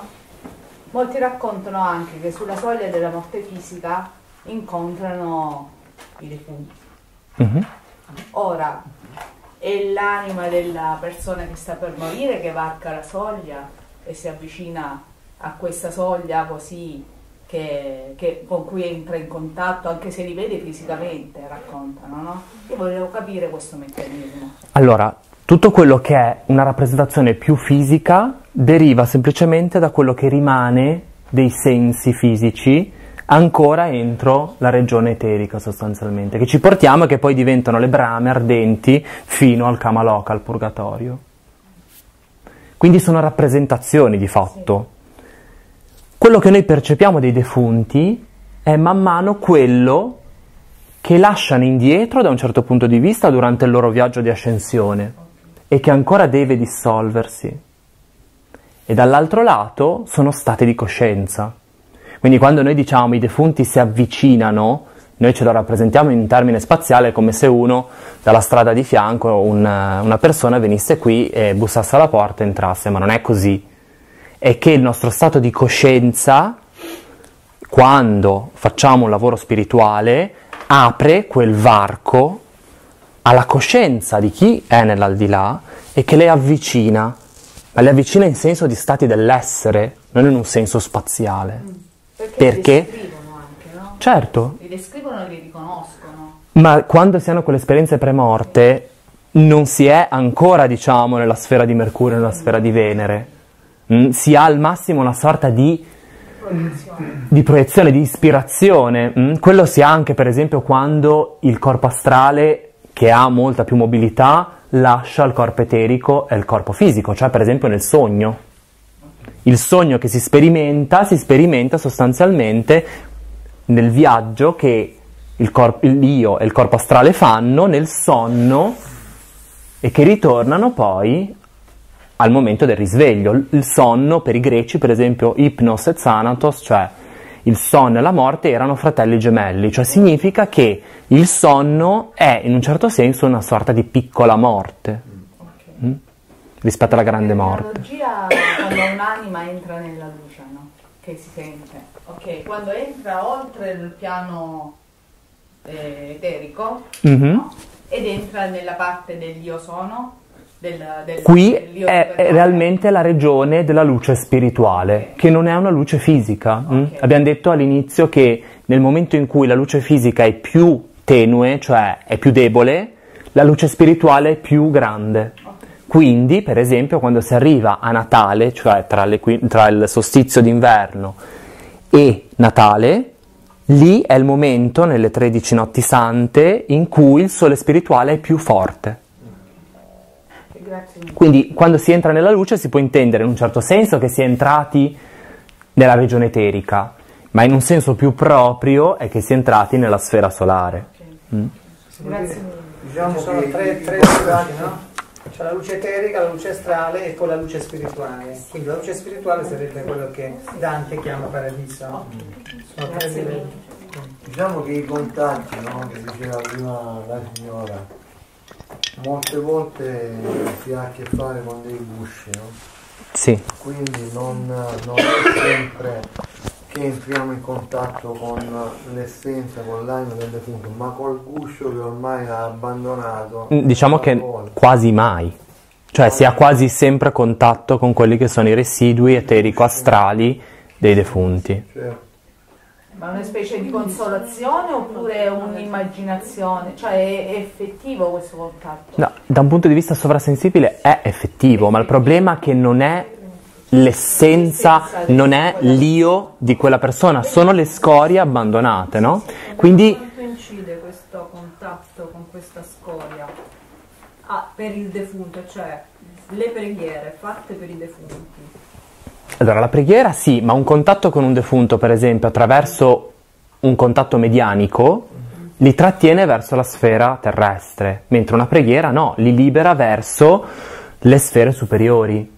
Chiaramente deve essere una preghiera che non mira a richiamarlo a te, no? al tuo stato di coscienza, anche perché noi dobbiamo tenere presente che per quanto noi possiamo avere uno stato di coscienza elevato, nel momento in cui noi ci escarniamo e raggiungiamo l'io superiore e tanto più il vero io, se noi mantenessimo lo stato di coscienza, di veglia, è qualcosa di incomparabile rispetto al normale stato di veglia che noi abbiamo durante l'incarnazione fisica. Cioè, l'uomo è più se stesso dalla sfera solare fino alla sfera zodiacale che non dalla sfera solare alla sfera terrestre.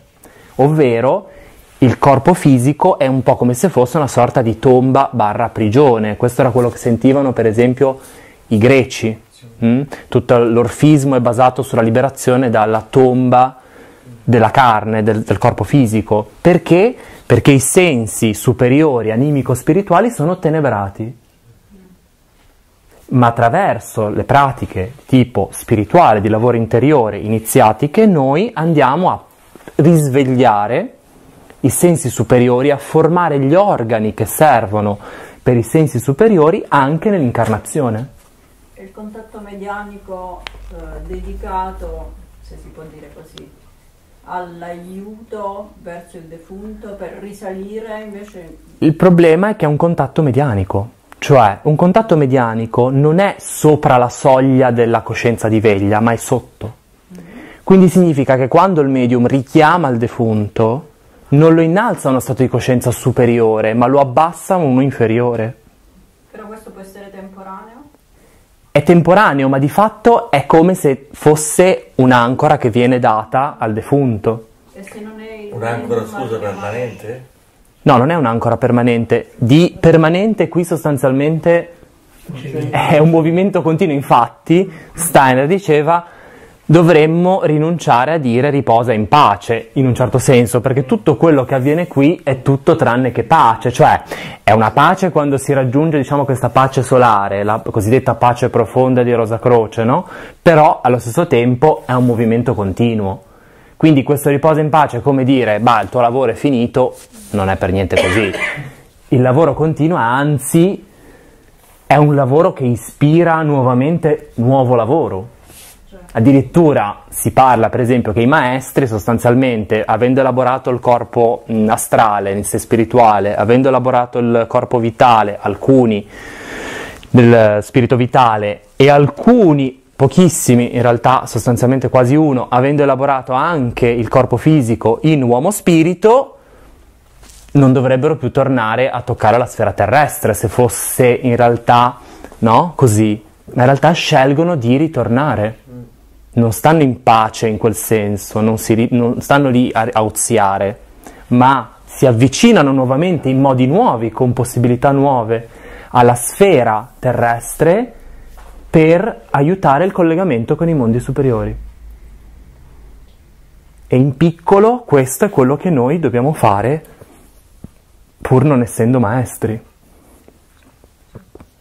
Ma mettiamo il caso di, quei- di quelle persone che sono particolarmente sensibili e si trovano a vedere o a, a sentire quelli che sono i defunti. No, quindi non sono cercati, queste cose non Mhm. sono cercate, ma sono semplicemente accadono. Ok. Questi defunti si fanno sentire in particolar modo da queste persone che sono sensibili e quindi li vedono e li ascoltano, Mhm. perché cercano aiuto per un'elevazione, un aiuto a superare quelli che sono i limiti di cui abbiamo parlato prima, no? E quindi il- i passaggi da uno stato Mhm. a un altro. Ora, ehm, la preparazione, diciamo, spirituale di queste persone che si trovano ad avere questa possibilità naturalmente può essere di grande aiuto a questi defunti che cercano una strada per elevarsi e mm, non la trovano. Allora, diciamolo in un altro modo. Eh, È la preparazione spirituale di queste persone che pur avendo già una predisposizione per questa percezione che comunque è fondamentalmente atavica, cioè è qualcosa che deriva dal passato, dalle forze che noi ci portiamo da tutta l'elaborazione precedente, quando fanno anche un lavoro spirituale, quindi vanno a compensare quelle che sono le forze ataviche, allora possono fare quel tipo di lavoro, ma allora siamo già in qualcuno che sta facendo un lavoro di tipo esoterico non è, non diciamo, non è possibile in un certo senso che la persona eh, nasca mantenendo completamente tutte le sue capacità coscienti nella sua ridiscesa. mm? Cioè si sta parlando eventualmente di casi estremamente eccezionali, per esempio appunto i maestri in alcune incarnazioni hanno avuto dei risvegli molto precoci, ma questo è un altro discorso. Sì, parliamo- Qui stiamo parlando della, della generalità e della, diciamo, della maggioranza delle persone. Ce ne sono molte di più di quelle che pensiamo che hanno quel genere di capacità, soprattutto nei primi, sostanzialmente primi 28 anni. Mm, Poi normalmente queste capacità dei 21 ai 28 fino ai, ai 33 diventano inconsce e poi con un lavoro esoterico possono riemergere in forma cosciente dopo circa i 33 anni. E di lì allora si può lavorare in senso esoterico vero e proprio, cioè dalle forze dell'io, perché l'io si incarna effettivamente, completamente, solamente, sostanzialmente dai 28 anni in poi, dai 21 comincia ad incarnarsi di più, poi ai 28 effettivamente è incarnato e poi comincia il suo lavoro di escarnazione, di spiritualizzazione dei corpi dai 33 in poi. Quindi effettivamente queste anime particolarmente preparate riescono ad aiutare. Cioè Ma se c'è questo sforzo cosciente, volitivo di preparazione, cioè di lavoro interiore. Se io nasco con la capacità medianica e la preservo anche oltre i 33 anni, se non faccio nessun tipo di lavoro esoterico non posso aiutarli. Posso solo subire eventualmente queste interferenze, che infatti diventa, diciamo, addirittura quasi un peso in effetti. Mm? Io conosco, sì, io conosco diverse persone che ho, sono anche miei pazienti che hanno questo contatto con i defunti ma non vivono bene perché sono, diciamo, sono costretti, cioè non è che possono cambiare canale quando gli arriva questa informazione e si sentono impotenti. A volte magari vanno, lo vanno a dire al parente, alla persona del defunto, ci ho sognato questo, però rimane là. Secondo me la chiave sta nel fatto che gli dici come anima, no, fino a quando ci viviamo come anima non possiamo veramente aiutare i defunti. Nella misura in cui si assume una coscienza dell'io, di questa particolarità dell'io, allora là inizia la possibilità di elevare l'anima del defunto che è rimasta in, in- diciamo imbrigliata verso la luce dello spirito. Sì, sì, chiaramente. a- da anima a anima non si può aiutare, quindi bisogna Dall'io, mm? dall'io attraverso l'io, quindi attraverso questo principio spirituale. Quindi siamo sfera già archetipale, mm? siamo oltre la personalità, oltre quello che è l'astralità.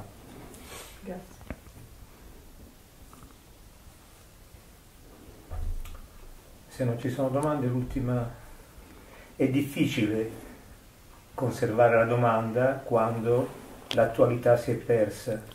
Però torniamo all'inizio. Tu hai parlato che nell'epoca dell'anima cosciente mediamente la persona, un io si incarna due volte, mediamente, giusto? No, E- io ho detto eh, che- allora- epoca, parliamo della, della nostra epoca.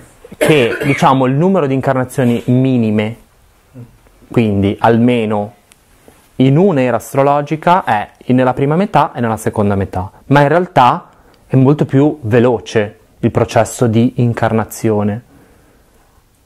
Quindi almeno si deve vivere nella prima metà dell'era astrologica e nella seconda metà, quindi dell'anima cosciente, nella prima metà dell'era dell'epoca dell'anima cosciente e nella seconda metà. Ma di fatto il processo di evoluzione dopo il mistero del Golgota non è andato rallentando, è andato accelerando.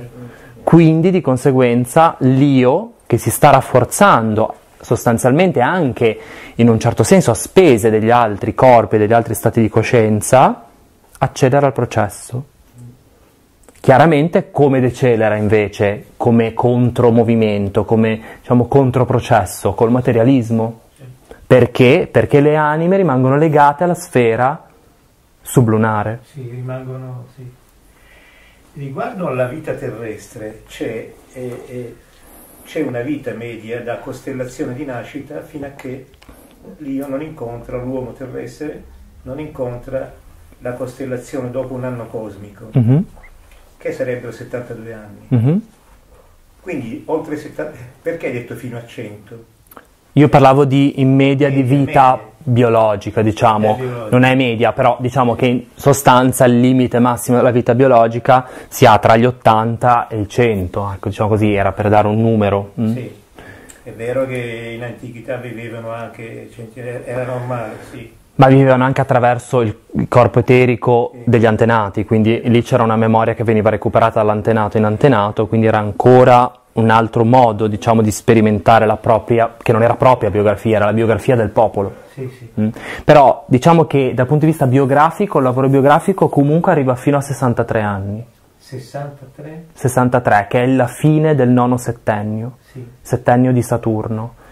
Lì il lavoro biografico a un certo punto si ferma, ovviamente non è che si ferma nel momento in cui compie, ma progressivamente si ferma e viene passato tutto il lavoro che ancora rimane karmico, perché chiaramente è incapsulato, tutte le, le incarnazioni precedenti sono incapsulate in quella che è l'incarnazione che comunque abbiamo vissuto fino a quel momento, vengono demandate all'incarnazione successiva.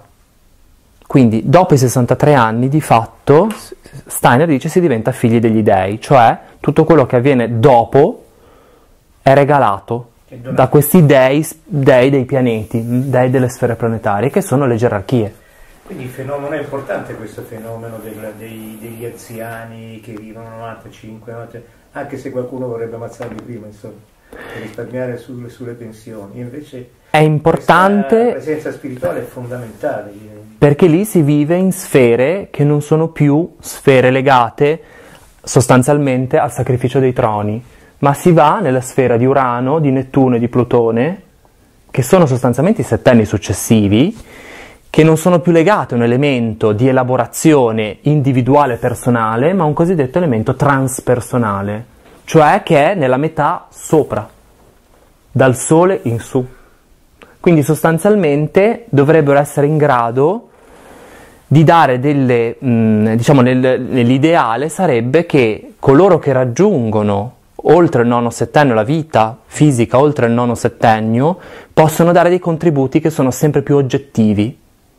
Il problema, al posto che soggettivi, il problema è che essendo fortemente condizionati da una vita materialistica, anche se raggiungono quell'età, spesso tutto, diciamo, il contesto, tutti i corpi nel quale vivono non sono in grado di sostenere quel tipo di lavoro transpersonale e quindi, e quindi vengono sostanzialmente, sostanzialmente una sorta di sopravvivenza, non è una vita effettivamente nelle sfere transpersonali.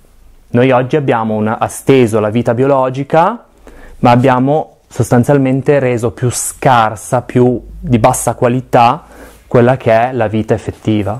Spirituale. Spirituale, ma anche poi da un punto di vista anche poi effettivamente pratico a volte, no? Mm? Però portano un elemento di libertà. Lo porterebbero, esattamente, esattamente, ma spesso è limitato dal peso del materialismo imperante, che è un, un materialismo che dalla società lavora sull'individuo costantemente. Quindi, per esempio, genera delle forme di malattie nervose che non sono degenerative, che non, sono, non, non permettono l'espressione di questo elemento di libertà oggettivo. Beh, mm? no, non tutti però. Eh. No, no, dico, no, però esistono. Mm? No, no, ma nel senso che eh. assolutamente potrebbe essere molto più diffuso questo elemento di libertà oggettivo, ma noi vediamo invece, per esempio, che ha delle difficoltà mm, a emergere.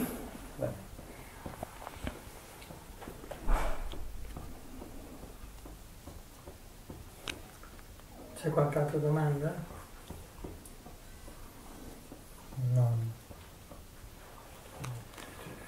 Allora, posso fare una piccola considerazione. Chiaramente per chi sente la, per la prima volta questo tipo di, diciamo, di quadro così stratosferico, uno dice ma insomma è una fantascienza. Però se viene portato in chiave meditativa, questo aspetto e chiaramente viene approfondito come un lavoro individuale, singolo, ehm, non solo diciamo, diventa più plausibile, ma da, diciamo, aumenta eh, questa, questa, capacità di vedere l'altra metà del cielo, perché noi ci fermiamo generalmente a questa, poi dei mondi post mortem. Questo diciamo, è un tentativo di collegare l'altra metà del cielo a un, diciamo, in una forma, una sintesi pensante di orientamento, perché eh, altrimenti veramente la disperazione, eh, insomma, per chi proprio non ha neanche un barlume, dice vabbè poi, poi quando muoio dall'altra parte va, vedo, invece è esattamente il contrario, ciò che non si conquista in chiave di coscienza in vita, dall'altra parte è buio terrificante. Quindi è un qualcosa da... da cioè, non è che ci dobbiamo occupare dopo della porta, è proprio in vita. E più riusciamo a squarciare insomma, queste tenebre della paura, diciamo, dell'insicurezza, del, del futuro, e più la, diciamo, la qualità della vita eh, cambia, perché si vive in modo diverso. Come dire, prevenire. Mm-hmm. Certo. Prevenire, no? Che, prepararsi. Eh, è una prevenzione. Mm-hmm. Sì. Che dopo dice c'è sempre tutto facile, no? Sì, poi dopo faccio quello, dopo no. Adesso. Questo che vuol dire? Che se una persona non ha coscienza dei mondi superiori, non, al momento del passaggio e per lui sarà l'oscurità. Io penso a tanti atei, a tanti gnostici, allora, a tanti che hanno fatto del, me- del, male impunemente e credono di non dover pagare nulla. Cioè, eh, se io non, non credo nei mondi superiori non li vedrò. Allora, se io li credo avrò una coscienza per poterli vedere, cioè dipende da me o effettivamente è così per tutti?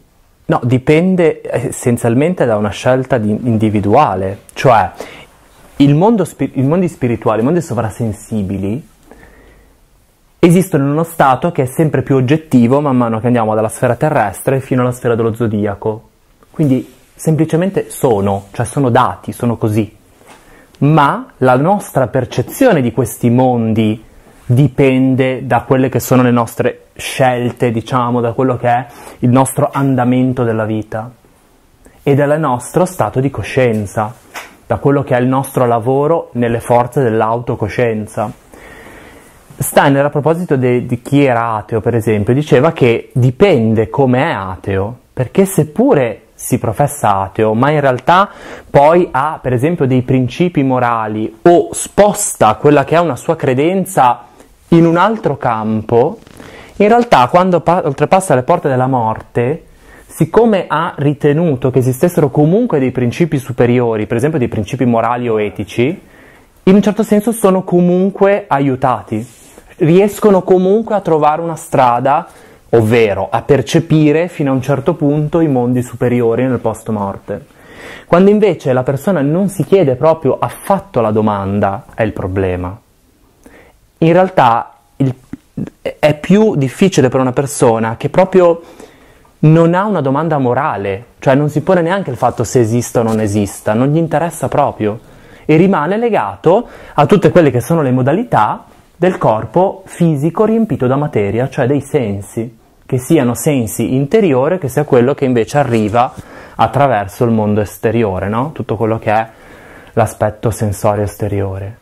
Quindi rimane intrappolato tra Lucifero e Arimane. Lucifero che da dentro lavora verso fuori e Arimane che da fuori lavora verso dentro, verso l'interno.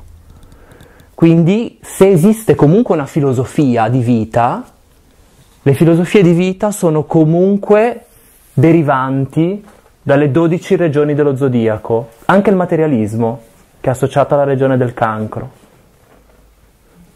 ma è comunque contemplata come una delle dodici visioni del mondo date dai cherubini.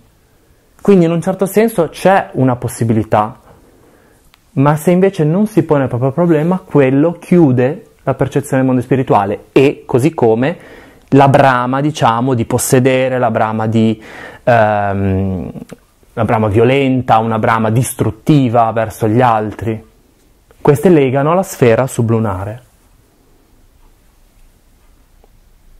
Tutto quello che è incapacità di, di, poter controllare i propri istinti più bassi o comunque sia tutto l'aspetto ombra? Mm, tutto l'aspetto del doppio. Quello che mm, mi sembra mm, non difficile, ma perché abbiamo la necessità di dimenticare ogni volta che ci incarniamo? Mi sembra un girare a vuoto perché io non faccio, uh, parlo in maniera grossolana, eh, perché dimentico le esperienze che via via potrebbero aiutarmi a migliorarmi. Perché ogni volta devo tornare a perché in realtà quelle esperienze che si sono avute in un certo modo, che quindi sono l'estratto del corpo fisico eterico astrale, che vengono portate dall'io fino alla mezzanotte cosmica, in realtà quando ritornano nella sfera terrestre non sono più identiche a loro stesse, ma sono state elaborate cioè devono essere espresse attraverso una serie di stadi in forma metamorfosata. Quindi non possono agire in un modo antico, uguale all'antico, perché bloccherebbero il processo di evoluzione. È un po' come se noi continuamente ricordassimo il modo in cui abbiamo imparato a leggere e a scrivere alle elementari. Se invece noi dimentichiamo quel processo, possiamo usare le forze che sono scaturite da quel processo, avendolo dimenticato. Però restano nel nostro inconscio. Certo, certo. Esattamente, ma vengono, vengono, riattivate, sono le cosiddette reminiscenze platoniche, vengono riattivate su livelli diversi vengono, e in forme diverse. Quindi, per esempio, una predisposizione in una vita, per esempio, alla musica, può diventare una predisposizione alla matematica, per esempio, in quella successiva e magari essere negato nella musica. e magari essere negato nella Sì, musica. sì, ho capito. cioè, Questo è importante perché Essere negato nella musica. Conosco tanti matematici che sono negati alla musica. Eh, sì, però diciamo c'è una corrente di pensiero che dice ma se una persona ha già acquisito, un essere umano, un individuo, diciamo così, in una incarnazione passata, determinate eh, qualità, ok, la, la vita successiva ce l'ha belle pronte così, cioè parte di là, invece non è così. Lo Sbaglia vuoi, colpo, lo vuoi sbaglia spiegare, spiegare tu Giorgio? No, procedi, poi semmai... No, diciamo che quello che noi abbiamo acquisito nella vita eh, passata diventa una facoltà acquisita, cioè diventa non più come un talento in erba, cioè da attivo in questo senso, a parte le eccezioni, la parte di igiene, no, c'è un altro discorso.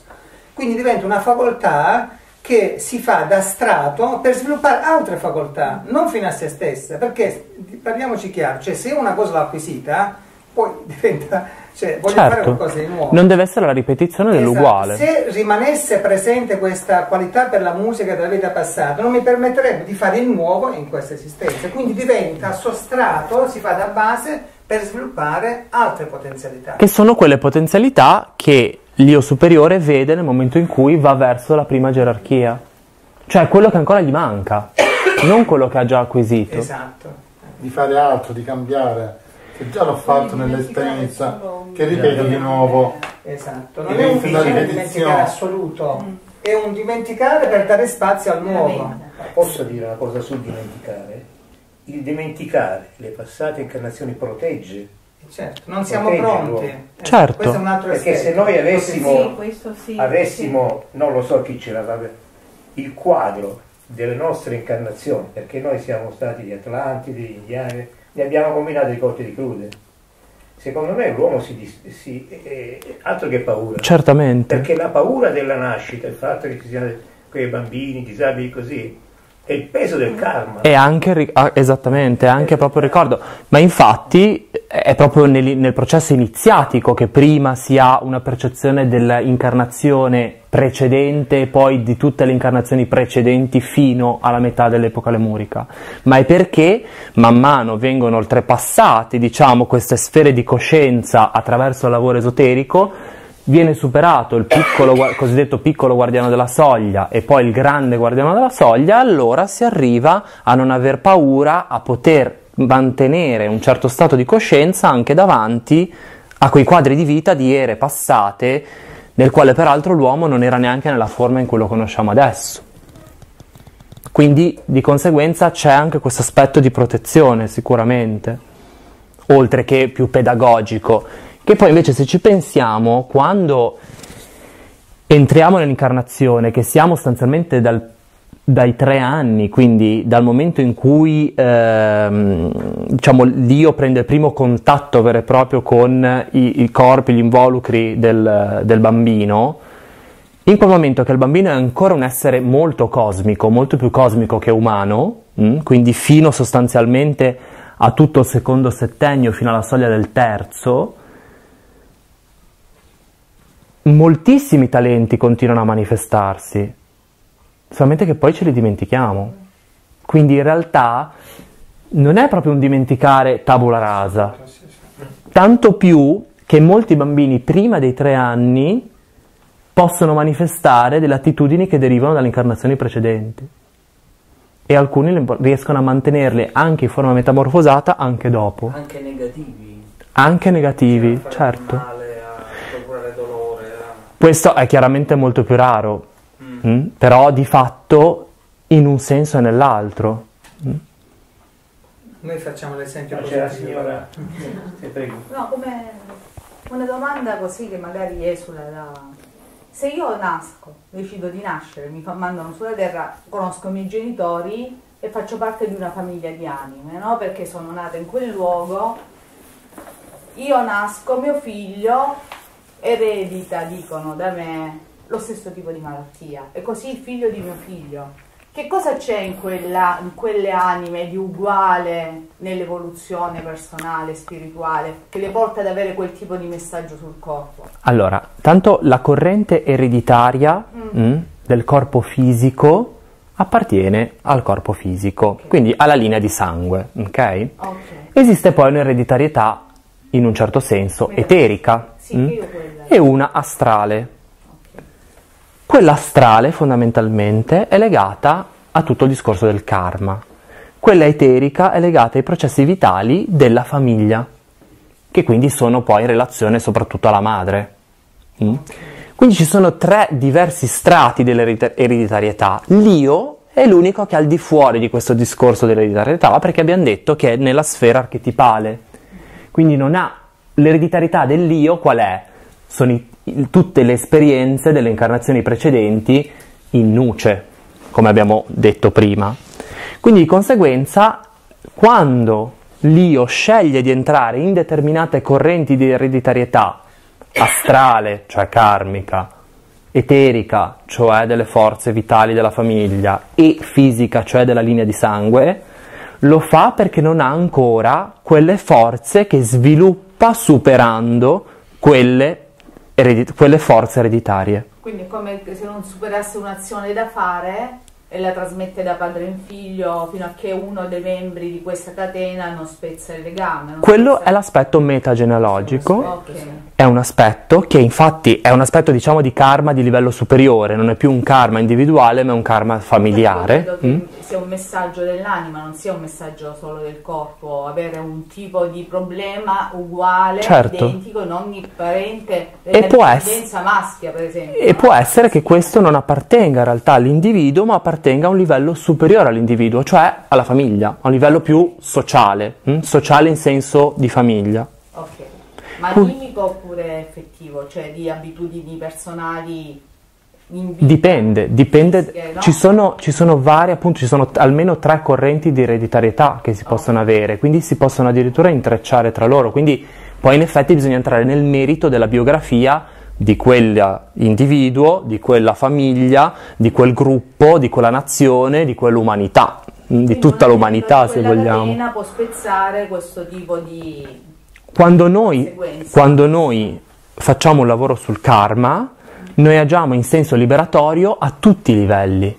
Perché se noi effettivamente liberiamo a partire dal karma individuale, noi creiamo una serie, diciamo, di azioni conseguenti di liberazione su quello familiare, su quello nazionale e poi su quello generale dell'umanità. Mm? Qui, chiaramente quest'anima successivamente essendo avendo superato questo limite si reincarnerà in un altro tipo di famiglia Chiaramente. Perché sì. ha ma nella famiglia precedente che cosa è accaduto grazie al fatto che quest'ultimo anello della catena ha spezzato Bisogna entrare nel merito della biografia, della metagenealogia o metabiografia di quella famiglia. Non si può dire così teoricamente. Si può dire che però se è un'azione liberatoria ha un effetto liberatorio, perché altrimenti intesserebbe nuove- nuovamente karma. Quindi questa è una questione diciamo anche terminologica di definizione. Se è liberatoria non può intessere del nuovo karma in quel senso antico. mm? Posso dire un, un particolare, però dobbiamo anche, eh, a parte diciamo, la parte astrale, eterica e fisica, no? che tu hai citato, però dobbiamo capire che l'essere umano che si incarna, prima di tutto è un io, quindi l'io, l'io superiore del Sole, non subisce nulla, quindi si sceglie quella corrente specifica di ereditarietà perché gli serve per la sua evoluzione. Delle Questo è prove. Quindi l'io superiore non subisce nulla, si veste di questi aspetti perché gli servono per la sua evoluzione. Quando in terra, diciamo, riesce a fare quello che si è proposto nel suo piano di vita, nel senso di spezzare il karma, allora lo scioglie non solo per sé, ma anche per il circondario. Come un po' l'aspetto fisico, no? Che, che influisce, il karma influisce anche sull'aspetto fisico della persona. Chiaramente tutti i livelli che sono, stanno più in alto possono agire sui livelli più bassi. Ir- da un punto di vista irregolare, come per esempio abbiamo visto prima l'effetto per esempio del materialismo, anche i livelli inferiori possono agire irregolarmente su quelli superiori. Mm, ave- avere una causazione inversa. Grazie. Bene. No, sto zitto. Era ora. No, invece voglio dire. No, sono molto Padre e la madre, Vangelo. Certo? Sì, sì, perché l'io non ha a che fare con quell'elemento. Ciao, Ciao. ciao, complimenti. Devo dare una cosa a lui. Adesso puoi intervenire, mi dillo. Posso dire? No. E forse è arrivato l'ora di chiudere il barracco. Possiamo chiudere con eh, un'ultima parte sì, sì, sì. del mantra Sì. sui de- per i defunti. Allora un attimo proprio di silenzio, giusto?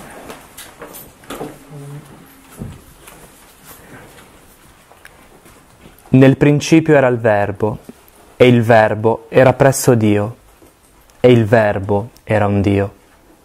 Egli era in principio presso Dio, e tutto è stato fatto per mezzo di Lui, e senza di Lui niente è stato fatto di tutto ciò che esiste.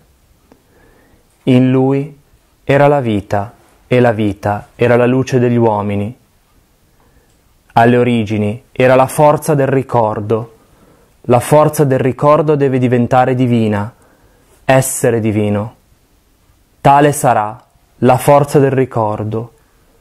Tutto ciò che nasce dall'io deve diventare tale da generarsi con il ricordo, trasformato dal Cristo, trasfigurato in Dio. In lui la luce splendente, elevantesi dal pensiero che si ricorda, illuminerà le tenebre del presente. Le tenebre di oggi possano afferrare la luce del ricordo diventato divino. Ero unito a voi, restate uniti in me. Parleremo insieme in linguaggio della vita eterna. Agiremo insieme laddove le azioni hanno un effetto. Vivremo nello spirito laddove i pensieri umani si incarnano nel verbo dei pensieri eterni. Ex Deo nascimur, in Christo morimur, per spiritum sanctum reviviscimus.